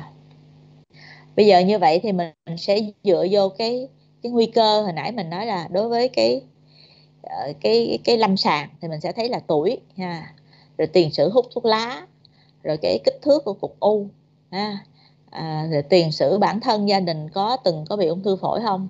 Mình đánh giá hết mấy cái này để để mình coi là bệnh nhân như thế nào để mình nghi là ông này nguy cơ ác tính cao hay là thấp nha. Thí dụ ông này già nè hút thuốc lá dữ nè một mấy chục năm ha. Rồi cái cục u thì bự à, rồi có từng có người gia đình có bị ung thư à, những yếu tố này nó là những cái quả cân bỏ vô trong cái bên mà nghĩ nhiều tới ung thư đúng không Rồi. tuy nhiên ấy là nó rắc rối quá à, thì hiện giờ nó có những cái phần mềm trên mạng và mình chỉ cần bỏ các cái thông số vô nó sẽ tự động tính ra cái cái nguy cơ cho mình nha tự động tính ra cái nguy cơ cho mình cái cancer probability các bạn à. À, đây là cái phần mềm mà Up to Date 2019 đưa ra nha. thật ra trên mạng nó có rất là nhiều phần mềm để nó tính toán những cái à, à, những cái khả năng đó mỗi khả mỗi mỗi cái à, mỗi cái yếu tố nó có những cái khả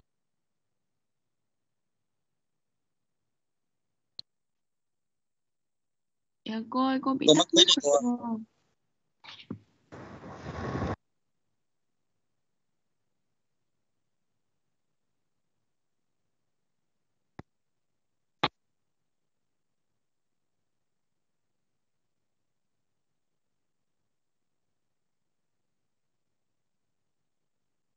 Rồi À, như vậy cô nói lại cái slide này ha, tức là đây là cái phần mềm của UpToDate 2019 đưa ra đó. Tức là thay vì mình ngồi mình suy nghĩ ở ông này ung thư rồi ông này ở ông này hút thuốc lá rồi ông này già rồi giữa cái người già 70 cái người già 60 nó khác nhau sao? À, rồi cái cục u nó bự nhỏ khác nhau thì bây giờ nó có những cái phần mềm để người ta tự động người ta tính ra cái cancer probability ha ví dụ như bỏ vô đây cái tuổi rồi đánh vô là đàn ông đàn bà rồi tiền sử ung thư phổi có bị COPD hay không cục u lớn nhỏ nằm ở thùy trên vân vân vân. Tua gai ha vân vân. Nó tự động nó tính ra hết cho mình. À, tính ra hết cho mình. À, bỏ vô hết cái gõ một cái cốc là sao? Tự động tính ra cái khả năng ông này bị ung thư là bao nhiêu. Nha đó. Thì giờ các bạn cũng nên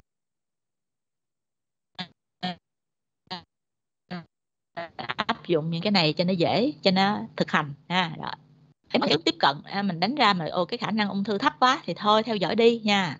Khả năng ung thư cao thì bắt buộc mình mình phải tiếp cận.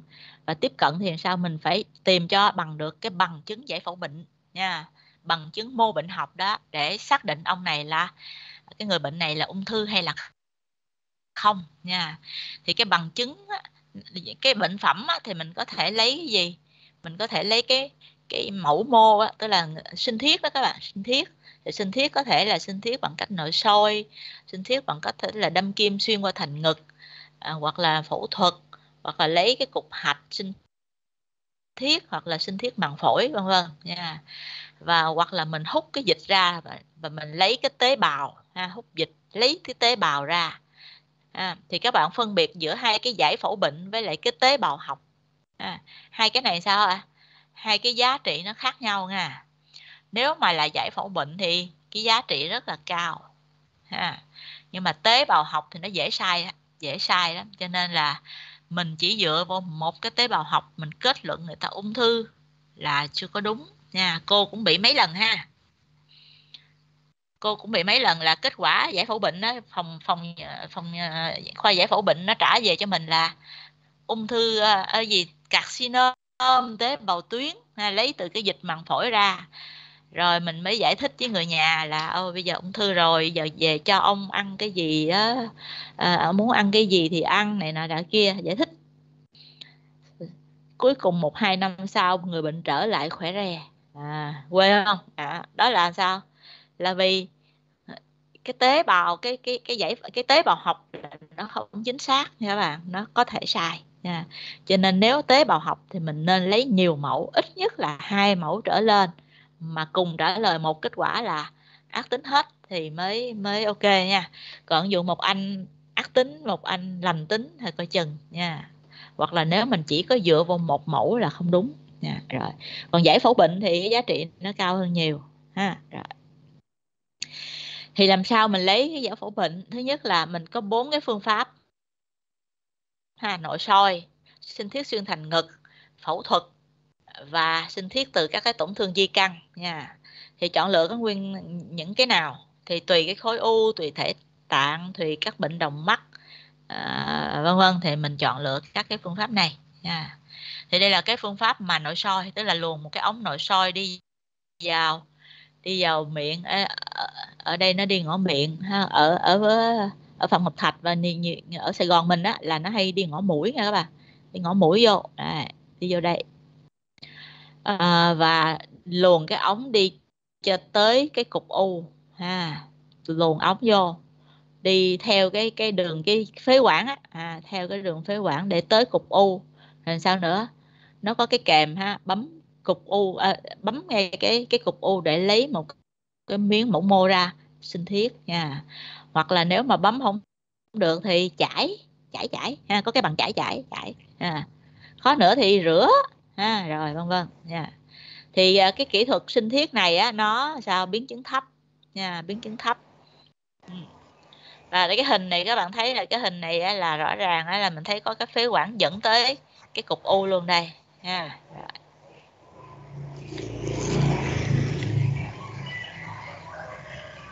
Tắt mic đi em em nào á tắt mic đi. Rồi. Bây giờ có những cái trường hợp các bạn thấy là có những trường hợp mình luồn cái ống soi đây là cái nội soi phế quản này các bạn ha nội soi phế quản đây. Và có những cái trường hợp á, là nội soi vô mà không thấy gì hết mặc dù là chụp hình phổi lên thấy cục u tổ bố. Thì các bạn nhìn thấy cái hình bên phải đây ha là lý do làm sao? Là cái cục u đó nó nằm cạnh phế quản chứ nó không không hề xâm lấn vô phế quản. Cho nên mình nhìn vô thì mình thấy là toàn bộ cái hệ phế quản bên trong đó đẹp, xinh đẹp, mướt mát, không có cái gì hết. Vậy biết chỗ nào đâu sinh thiết. Thì nó có một cái kỹ thuật mới, nó gọi là EBUS nha tức là trong cái đầu của cái nội soi này nó gắn thêm một cái gì? Một cái đầu siêu âm, nha và cái đầu siêu âm này khi mà đưa vô tới gần cái vị trí khối u á, thì nó sẽ xuyên nó sẽ siêu âm để nó đi ngang qua cái thành của cái phế quản này nè. Nó coi ồ xung quanh đây cái cục u nằm chỗ nào? Và nó định vị được khối u. Thì sau khi nó định vị xong thì người ta sẽ luồn cái luồn cái cây kim đâm xuyên qua cái thành của cái phế quản đi vào cái khối u để để sinh thiết nha các bạn. À. Nhưng mà Việt Nam ở Sài Gòn mình hình như chưa đó không biết làm chưa cách đây một năm thì cô nghe nói là chưa mà không biết là giờ họ đã mua chưa à. À. đây là cái những cái những cái cái cái thể mà cái cục u nó nó nằm cạnh cái phế quản hay các bạn nha cái cục u nó nằm đầu phế quản nằm xung quanh cái phế quản nằm chèn ép vô cái phế quản hoặc là có cái hạch cạnh phế quản à, đó là những cái kiểu à. À, một cái kỹ kỹ thuật khác nữa đó là đối, đối với cái kỹ thuật mà nội soi đó thì người ta chỉ dùng cho những trường hợp mà khối u nằm ở trung tâm gần cái cái phế quản lớn thì nó mới sinh thiết được. Còn bây giờ nó nằm ở ngoại biên nó xa quá nó nằm sát gần nó tới thành ngực luôn thì không có cái ống nội soi nào mà có thể đi từ từ phế quản lớn mà đi tới thành ngực nổi đúng không? Cho nên mình sẽ đi bằng cái kỹ thuật là sinh thiết phổi xuyên thành ngực nha xuyên thành ngực thì xương thành ngực này nó phải à, hướng dẫn dưới cái máy CT scan để định vị. Và người ta định vị xong thì người ta sẽ có một cái kim từ bên ngoài đâm vào cái cục u à, à, để sinh thiết nha các bạn. Thì chỉ dùng trong trường hợp là cục u nằm gần gần thành ngực ha gần cái màng phổi đó nha. Gần thôi chứ không cần sát nha. Tất nhiên là nó càng càng xa thì cái tỷ lệ sai sót càng nhiều và tỷ lệ biến chứng càng nhiều đối với cái sinh thiết ờ, thành ngực này á thì nó là sao? Nó dễ bị biến chứng tràn khí màng phổi nha dễ bị biến chứng tràn khí màng phổi. Đây này đây là cái sinh thiết mà chọc uh, xuyên thành ngực các bạn. Nha định vị rồi đâm xuyên vào lồng ngực. Và bệnh nhân phải nín thở ha nín thở lúc mà mình thực hiện thủ thuật. Và nếu cái cục u nó nhỏ nè rồi bệnh nhân không có nín thở được bệnh nhân cứ hít thở hít thở hoài đó. Thì cái khả năng mà mình đâm ngay trúng cái cục u nó khó lắm. Nha nó dễ bị tai biến rồi nó dễ bị đâm, đâm sai. Và tai biến hay gây gặp nhất là tràn khí màng phổi. Nha rồi. À, một cái kỹ thuật kế nữa là kỹ thuật phẫu thuật. À, thì nãy cô nói đó tức là bây giờ mình không biết là cái cục u này lành hay ác. À, thì bây giờ mình mổ luôn. Ừ. mình làm các kỹ thuật kỹ thuật nãy giờ không được không thực hiện được hoặc là thực hiện mà thất bại thì người ta sẽ có chỉ định mổ luôn. Mổ luôn là mổ nội soi thôi. Và khi tiếp cận được cái khối u rồi á, thì người ta mới lấy khối u ra. À, người ta được gửi qua làm sinh thiết lạnh. Sinh thiết lạnh có nghĩa là sao? Nghĩa là gửi qua giải phẫu bệnh và làm cấp tốc trong vòng 15 phút thì trả lời liền cho mình là cái này lành hay ác. Nha. Thì nếu mà trả lời liền cho cái ông bác sĩ mổ ông đứng chờ á đứng chờ. Trả lời cho ông à, ông bác sĩ mổ 15 phút sau thì ông nếu mà trả lời lành tính thì sao? Ông chỉ cần đóng uh, mai, mai lại thôi. Còn nếu trả lời là ác ác tính thì sao? Ông bắt buộc phải mở rộng ra và cắt tất cả những cái uh, uh, xung quanh để tránh di căn ha nạo hết các hạch rồi vân vân. Yeah, rồi. À, ngoài ra các cái kỹ thuật khác như là nếu bệnh nhân tới đã trễ rồi có cục hạch thì chúng ta sẽ xuống sinh thiết hạch.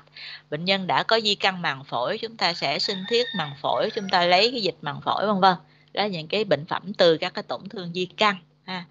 À, còn nếu mà bệnh nhân không làm được gì hết không nội soi được không mổ được không ờ, uh, sinh thiết xuyên thành ngực được thì có một kỹ thuật khác nữa là lấy cái tế bào ác tính trong đàm nha. Tuy nhiên cái này cái giá trị nó cũng rất là thấp. À, đã tế bào á nãy nói ha tế bào bào học á, là cái giá trị nó đã thấp rồi. Mà tế bào trong đàm á, thì cái giá trị nó còn thấp hơn. Nha thành ra là ờ, chỉ chỉ định trong những trường hợp mà bó tay không làm được cái kỹ thuật nào hết nên bệnh nhân quá yếu vân vân. À, mà mình cần phải có giải phẫu bệnh vân vân. Dạ. À, và đây là cái cái cái lịch mà chúng ta theo dõi cái nốt đơn độc đó tức là à, à, nãy giờ là cái cách mình tiếp cận đối với cái khối u mà nó có khả năng ác tính trung bình và cao.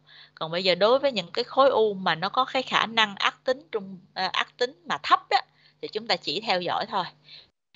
Đây là cái cái lịch theo dõi thì chúng ta sẽ có cái lịch theo dõi khác nhau giữa cái cục đặt ha cục đặt à, và chúng ta thấy rằng là à, cái cục đặt cái tùy theo cái kích thước hoặc là cái nguy cơ ác tính à, ví dụ bệnh nhân có, có hút thuốc có ừ, ừ, lớn tuổi rồi đó vâng vâng thì nó có cái lịch riêng.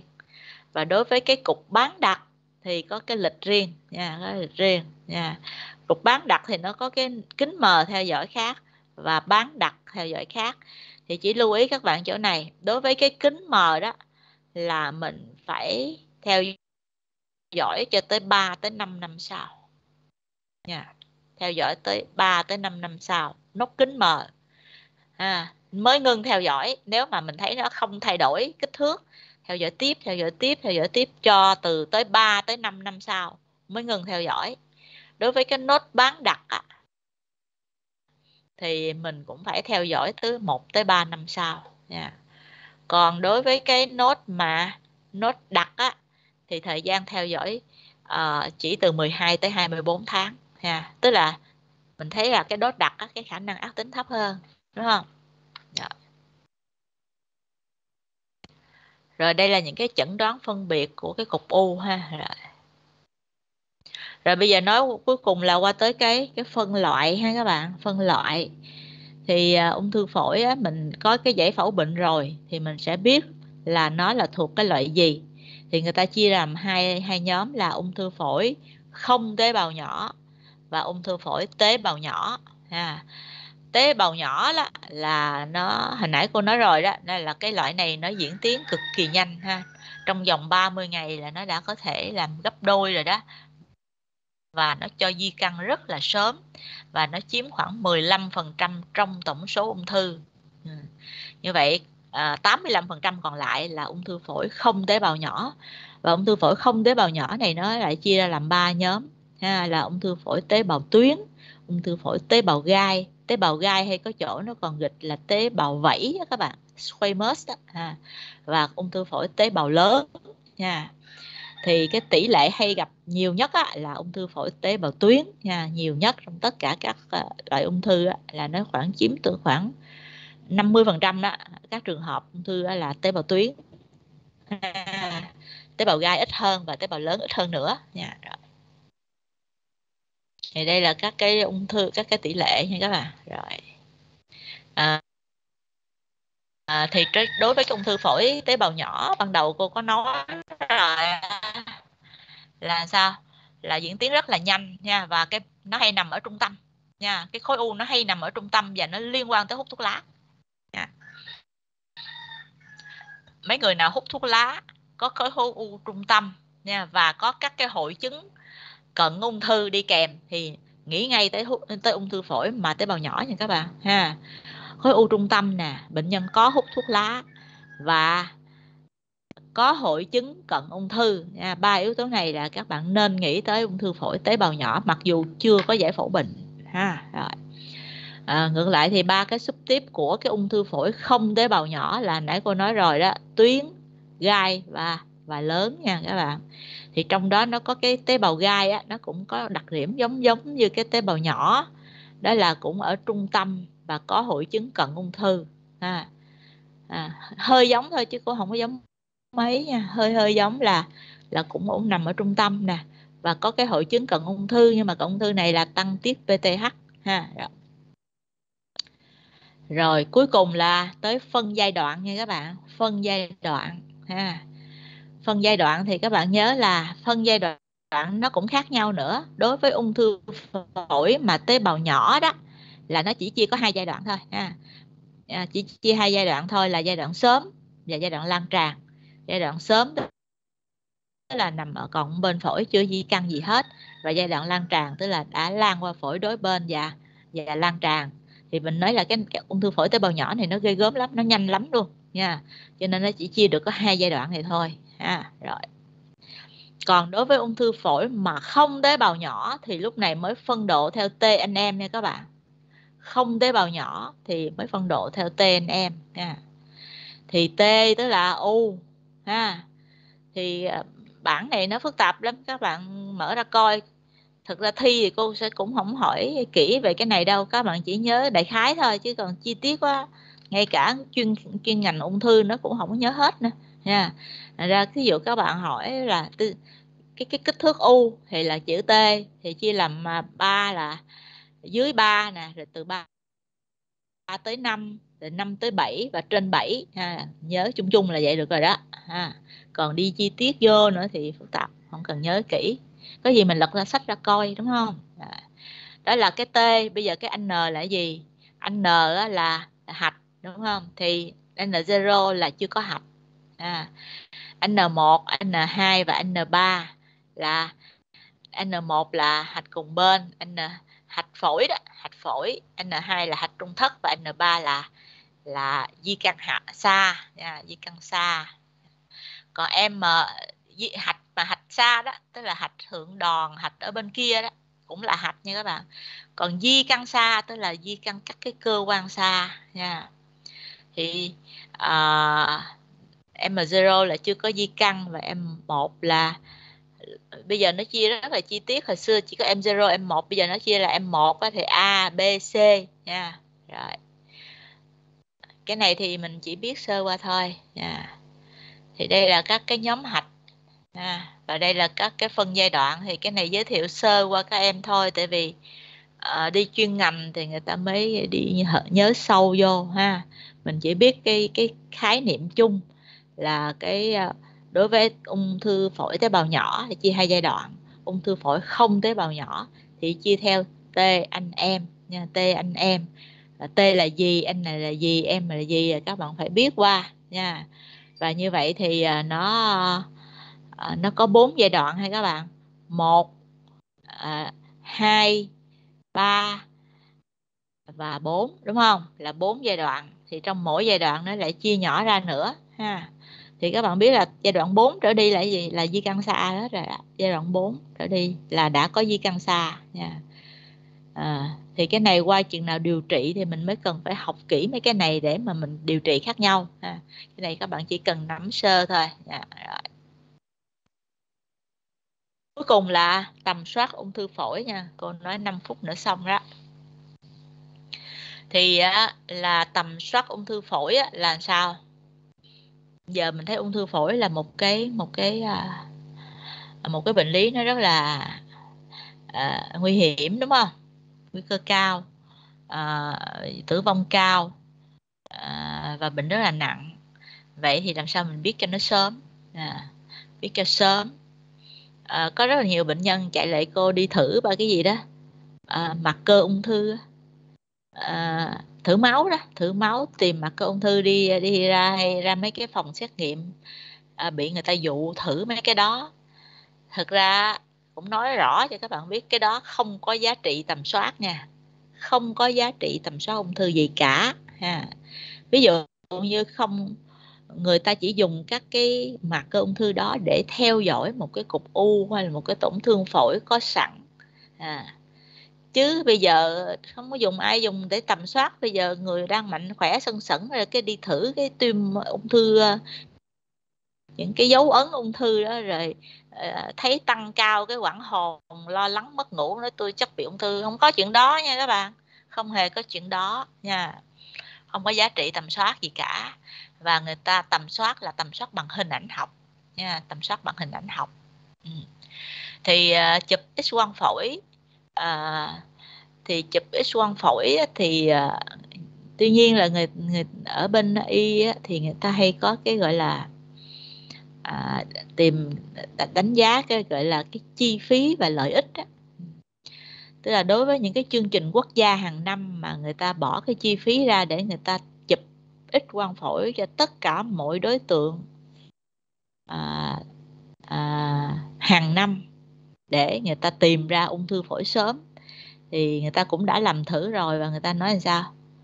À, không có lợi ích. Ha tức là cái cân bằng giữa lợi ích nguy cơ tức là chi phí bỏ ra nhiều quá mà cái lợi ích để phát hiện cái số uh, ca ung thư thì nó quá thấp so với cái chi phí bỏ ra. Ha. À, và à, x quang ngực cũng vậy mà CT cũng vậy CT lại càng hao tốn nhiều nữa. Nha à, tuy nhiên gần đây thì à, có một cái nghiên cứu ở Mỹ đó là người ta dùng cái CT mà liều thấp.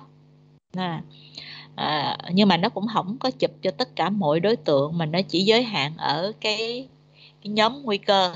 À, nhóm nguy cơ nhóm nguy cơ đó là nhóm nguy cơ tuổi cao ha từ 55 tới 80 tuổi. À, có hút thuốc lá ít nhất là 30 pack year và vẫn còn đang hút thuốc lá và cái cái tổng trạng tương đối ok đó thì nó đưa vào nó tầm soát và nó nhận thấy rằng là tầm soát hàng năm bằng cái chụp CT scan liều thấp thì nó sẽ à, phát hiện được 70% ung thư ở giai đoạn sớm này các bạn. Giai đoạn có 1A từ 1A tới 2B là hai giai đoạn này rất là sớm đó. Nãy mình coi rồi đó giai đoạn rất là sớm ha. 1A là giai đoạn đầu tiên ha một nãy nói 1A B C rồi. 2A B à, thì cái này từ 1A tới 2B nha rồi. Như vậy chụp ờ, uh, CT liều thấp là gì? À, là chụp CT mà không cản quang trong lúc hít vào tối đa và nín thở nha. Chụp rất là nhanh nha. Và mức nhiễm xạ nó chỉ bằng 1 phần 3 liều xạ so với liều thông thường nha. Và khi mà mình chụp CT liều thấp mà phát hiện cái gì rồi á, thì mình mới mình mới uh, chụp lại cho kỹ các bạn thì ở Việt Nam mình là ở Sài Gòn này cũng nhiều chỗ có chụp cái cái low dose này ha thì đối với cái người nhà mình mà có nằm trong cái đối tượng nguy cơ cao ờ, lớn tuổi hút thuốc lá nhiều thì nên chụp cái này ha nên chụp. Rồi. Và của cô đến đây là hết ha tóm lại là ung thư phổi là một cái bệnh mà nó, và cái tỷ lệ mắc và cái tỷ lệ tử vong rất là đáng sợ nha. Triệu chứng lâm sàng và hình ảnh học là hai cái các bạn cần phải nhớ, ha, rất là quan trọng. Triệu chứng là ba ba nhóm triệu chứng. Và hình ảnh học thì lưu ý, hình ảnh học trên CT scan, những cái đặc điểm của khối u như thế nào. Dựa trên lâm sàng, dựa trên hình ảnh học để chúng ta tìm ra được cái gì? Nguy cơ ác của cái cục đó. Ha mình đánh giá được cái nguy cơ ác tính là mức độ cái khả năng ác tính là bao nhiêu để mình có cái hướng xử trí thích hợp. Nha.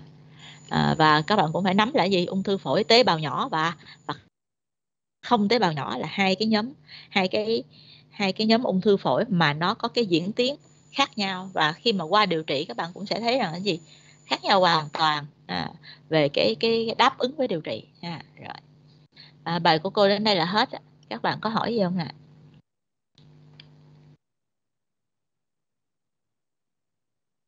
Dạ. Cô ơi theo lịch là còn bài bệnh lý trung thất nữa cô. Bài bệnh lý trung thất nữa hả? Ủa mình dạy tới mấy giờ con? Cô cô dạy tới mấy giờ tụi con nghỉ? Dạ 5 giờ 50 á cô. 5 giờ 50 mà giờ là 5 giờ 50 là còn 20 phút nữa đúng không bài là bệnh lý trung thất thì rất là ngắn nha các bạn à, cô sẽ nói sơ qua cho tụi con cái bài bệnh lý trung thất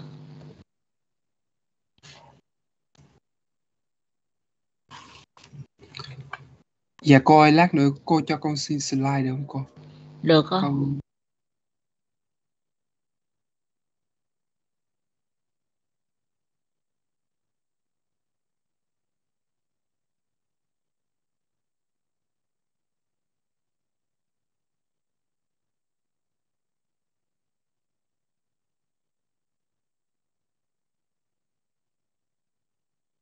Dạ cô bị tắt mic rồi cô ơi.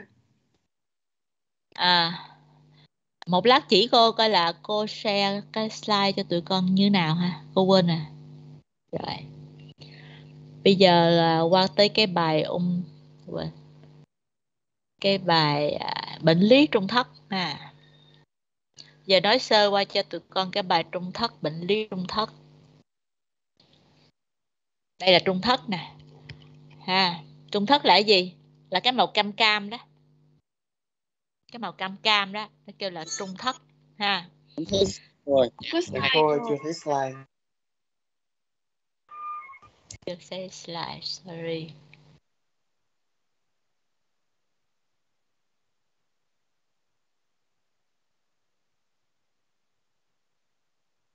À, thấy chưa?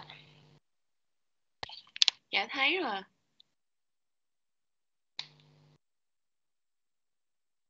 đây. Thì trung thất là gì ạ trung thất là cái màu cam trên hình đấy, các bạn thấy đây là hình ảnh cắt ngang của cái lồng ngực, các bạn thấy đúng không?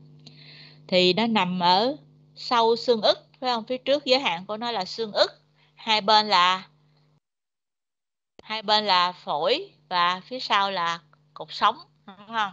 À. thì người ta chia ra làm mà bốn bốn phần nha, trung thất trên, trung thất trước trung thất giữa và trung thất dưới. Ha các bạn thấy đó. đây là các cái giới hạn của nó. Trung thất trên đó là giới hạn phía trước là xương ức. Và cái đường cái đường này á, là cái đường ngang. Từ cái cái cái mỏm Louis đi ngang nha các bạn. Rồi. Rồi cái phần dưới á, thì nó làm chia làm ba phần là trung thất trước trung thất giữa và trung thất sau. Ha trung thất trước là nằm trước trái tim trung thất giữa chính là cái vùng quanh tim đó và mạch máu đó và trung thất sau là phía sau sau cái tim đó nha. Rồi.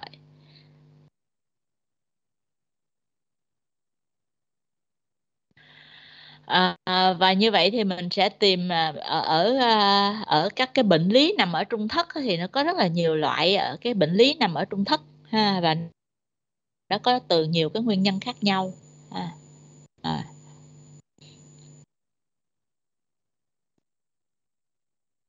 Cô sẽ uh, gửi bài này cho tụi con nha. Thì uh, các cái bệnh lý trung thất nó ít có triệu chứng lâm sàng và nó hay phát hiện tình cờ lắm nha. Và 60% thì nó phụ thuộc vào cái cái triệu chứng ha. có cái triệu chứng cũng tương tự như là cái cái cái cái u phổi hồi nãy y chang luôn á nha. Thì chúng ta sẽ à, chụp cái hình ảnh học nha. À, quan trọng nhất là cái CT scan ngực nha. Ngoài cái CT scan ngực thì có thể à, chụp MRI chụp PET CT à, chụp cột sống vân vân. Quét xạ nha. Rồi. Đây là các cái cận lâm sàng mà có thể à, tuy nhiên là tại vì à, nó rất là nhiều cái khác nhau á cho nên cô kể chung vậy. Một lát mình sẽ đi vào từng cái từng cái riêng. Bây giờ thí dụ như các cái bệnh lý trung thất trên ha, trung thất trên là nãy chỗ nào còn nhớ không? Là ở phía trước là từ cái mỏm Louis đi đi đi lên phía trên nha nằm trong lồng ngực đó. Thì ở đây cái bệnh lý hay gặp nhất là cái tuyến giáp nha. Tuyến giáp thực ra nó nằm ở trên cổ nhưng mà nó lại bị thòng xuống cái vùng trung thất trên ha. Nó kêu là bú giáp thòng hoặc là cái bú, tuyến giáp mà nó bị lặt chỗ ha. Đây là cái cái tuyến giáp nó nằm thấp hơn cái vị trí bình thường nó lặt chỗ hoặc là nó bự quá bự quá nó thòng xuống nằm sau xương ức luôn. Ha.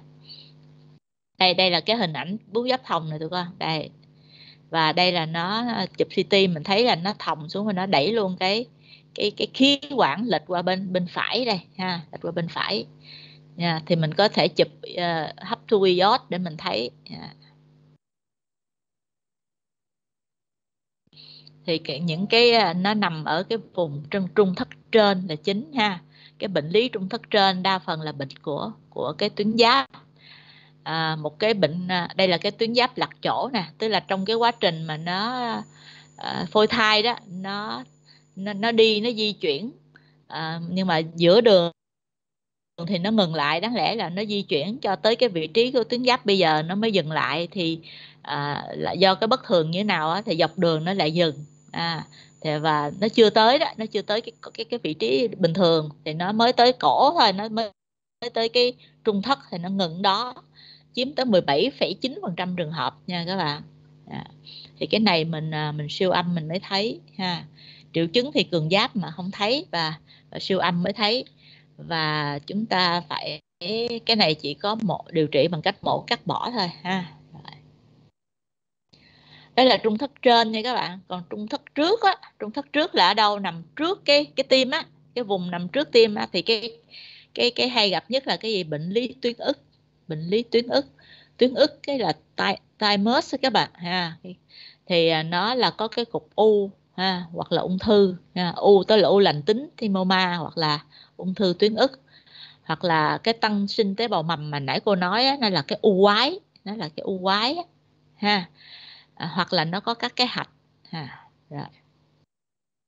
Thì đây là cái tuyến ức đây cái tuyến ức là nó nằm sát cái xương ức đúng không? Nó nằm sát ngay sau cái xương ức nha. Và cái hình bình thường của nó đó là cái hình hình giống như cái mũi tên vậy nè. À, cá biệt một số trường hợp thì nó hình hai thùy nha hoặc là một thùy nhưng mà rất là thấp đại đa số là nó hình mũi tên vậy nè. Đó.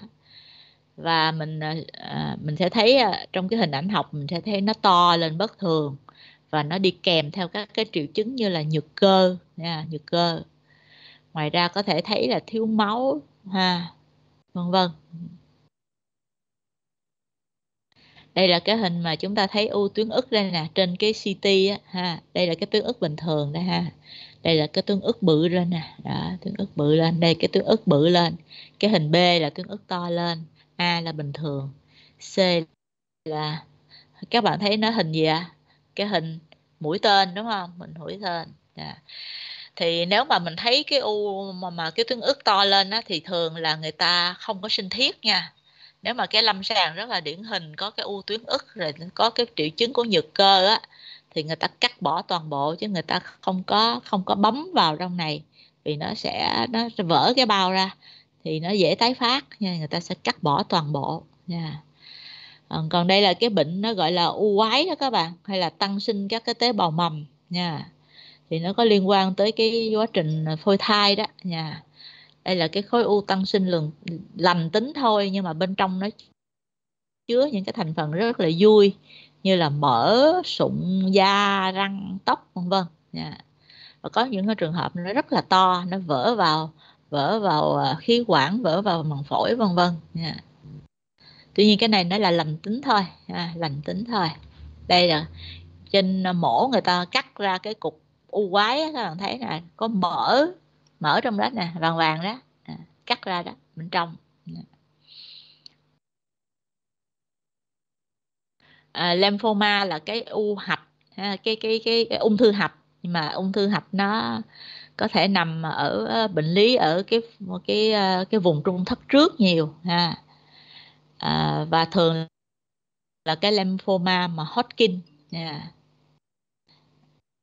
85% là nó ẩm 85% à, trường hợp là nó có cái cục hạch những cái cục hạch lymphom đó nó nằm ở trong cái trung thất trước. Và cái bệnh cảnh là sốt sụt cân đổ mồ hôi đêm vân vân. À, thì à, uh, CT mới thấy CT mới thấy. Còn cái non Hodgkin thì ít gặp hơn chỉ có 20% là gặp thôi. Nha rồi cái này thì mình sẽ điều trị giống như là lymphoma. Các bạn thấy cái hình quá trời hạch ha. Cái trung thất của nó đó quá trời cục hạch nhỏ nhỏ nhỏ nhỏ nhỏ đó nhiều hạch nha. À, cuối cùng một cái bệnh lý cuối cùng của trung thất trước đó là cái bệnh lý thoát vị hoành một cái ni nha. Thoát vị hoành á, thì nó hay thoát vị hoành ở cái chỗ ở giữa này nè. À, là cái chỗ cái khe của cái khí quản đó các bạn rất ít một số ít trường hợp thì nó thoát vị hoành ở cái vùng mà cái cái mặt nối mà cái cái lỗ một cani là cái lỗ nằm sát ngay cái sau xương ức. Thì nếu mà thoát vị chung qua cái lỗ đó thì nó gọi là thoát vị hoành một cani nha nó chỉ chiếm khoảng 1 đến 5% trường hợp thôi nha đặc biệt là ở cái người bệnh đau. Còn đại đa số các cái thoát vị hoành khác thì nó nó đi bằng cái lỗ thực khí quản à, quên lỗ thực quản hay các bạn. Rồi rồi đó là cái bệnh lý của trung thất trước. À, bệnh lý của trung thất giữa thì ít gặp lắm ha, là tim màng tim mạch máu lớn. Và bệnh lý à, của tim á, thì mình thấy đây là cái nang màng tim. Cái này giới thiệu các bạn cho biết thôi mấy cái bệnh lý trong cái trung thất này ít gặp lắm luôn à, giữa là ít gặp nữa à, cái trung thất giữa ít gặp và trung thất sau là còn ít gặp dữ nữa ha. Thì đây là cái nang màng tim ha rất là đặc biệt ha đã à, hoặc là nó có những cái túi phình ha, túi phình của cái quay động mạch chủ hoặc là giả giả quay động mạch chủ mấy cái này chỉ có phát hiện được bằng CT thôi các bạn ha. Rồi.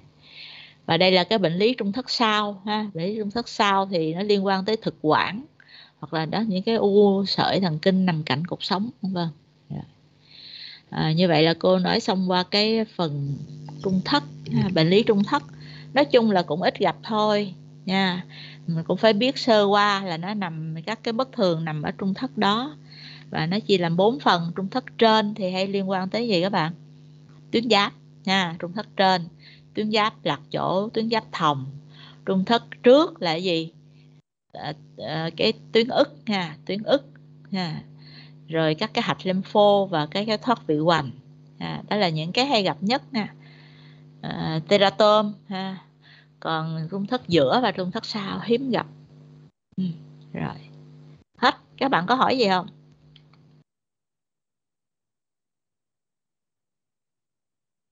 Bài này chắc cũng không có cho ít khi nào cô hỏi thi bài này lắm.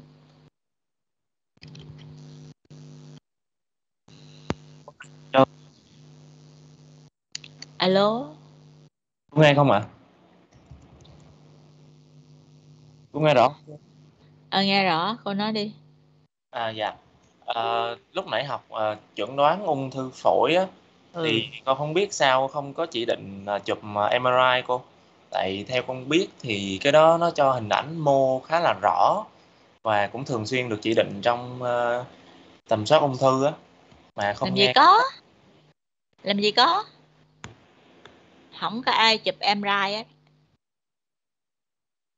CT đây là tại là người nhà em có đi khám mấy cái như ung thư gan á thì cũng phải chụp à, MRI á. Gan đồng ý. Phổi không? Ờ dạ. Mà tại sao Nha. vậy? Giá trị của MRI ở trong phổi nó thua CT mà mắc hơn cho nên chả ai chụp làm gì.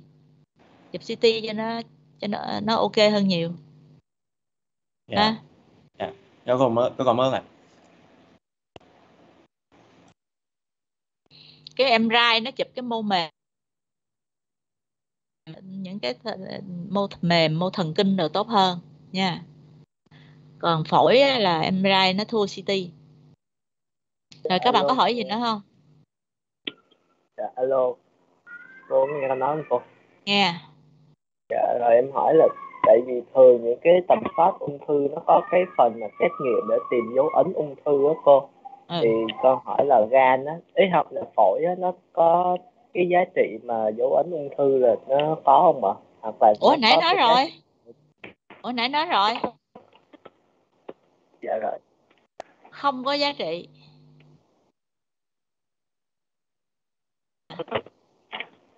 rất là nhiều người đi ra tầm soát rồi đi đi đi à, gọi là gì khám tổng quát. Rồi bị dụ là thử cái mặt cơ ung thư để, để coi mình có bị ung thư không làm gì có vụ đó. Đâu có dễ dàng là chỉ cần thử máu là biết mình có ung thư hay không không có chuyện này nha. Trừ phi là mình có một cái tổn thương gì đó nghi ngờ rồi người ta dùng cái mặt cơ ung thư để người ta đánh giá thêm người ta khảo sát thêm à, hoặc là người ta theo dõi diễn tiến ok nha Rồi.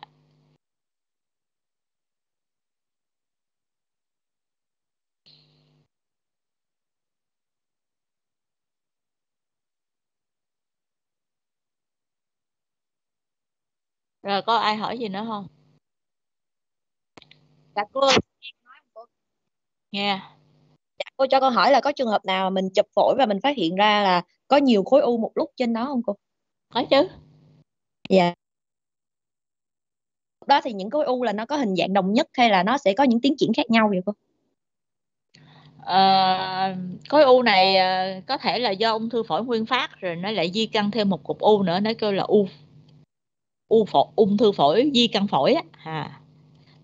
À, hoặc là nhiều cục u đó là mình nó từ nơi khác di căn tới nó gọi là bong bóng bay đó ha à. ha quá. Ừ, thì ờ, có nhiều cục lắm, mình đâu có biết được là mỗi cái nó diễn tiến. Ừ, có có thể là có một, trong đó có một cục u ban đầu và một cục u thứ phát. Đó. thường là vậy. Chứ còn ban đầu không có thể đồng nào đồng thời là hai ba cục, hai ba cục mà cùng một lúc thì có thể là là nơi khác di căn tới. À. Dạ rồi con cảm ơn cô.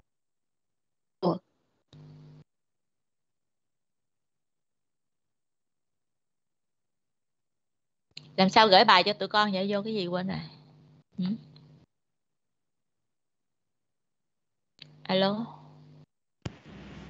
Cô gửi, dạ cô cô gửi bằng mail á cô. Gửi mail dạ, em hả? gửi mail trong khung chat đó cô. Rồi rồi vậy cô sẽ gửi qua đó ha. Rồi ok.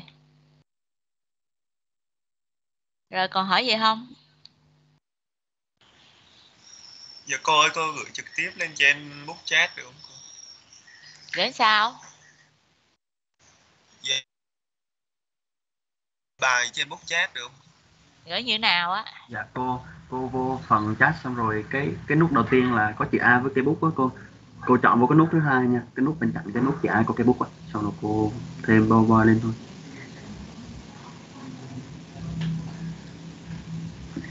Chữ A có cây bút. Dạ chọn cái nút cái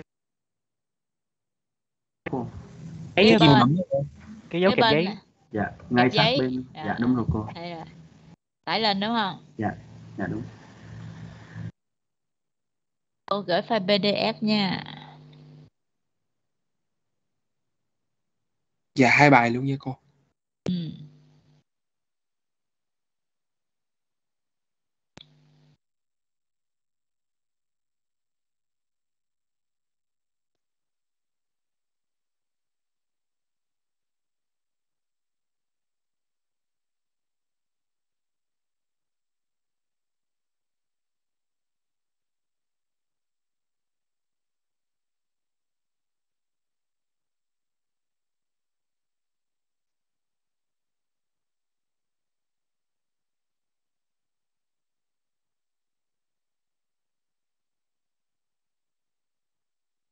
rồi, xong.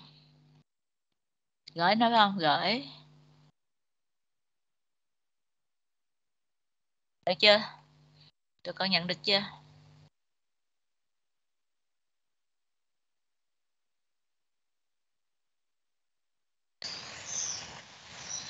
Dạ chưa cô ơi, chắc nó đang tải lên đó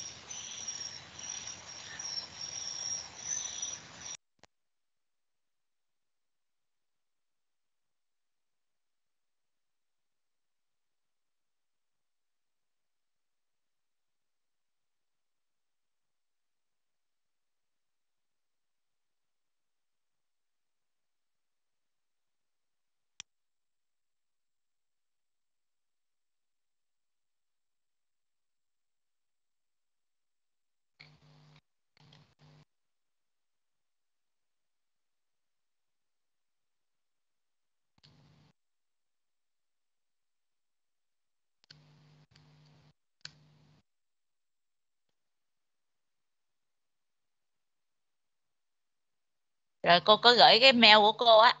Nếu mà tụi con không nhận được thì tụi con gửi mail cho cô.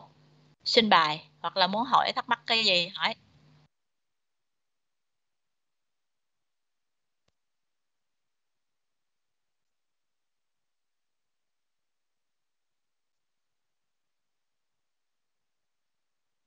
Rồi chào các bạn nha cô nghỉ nha. Alo. Dạ con chào cô ạ. Dạ chào cô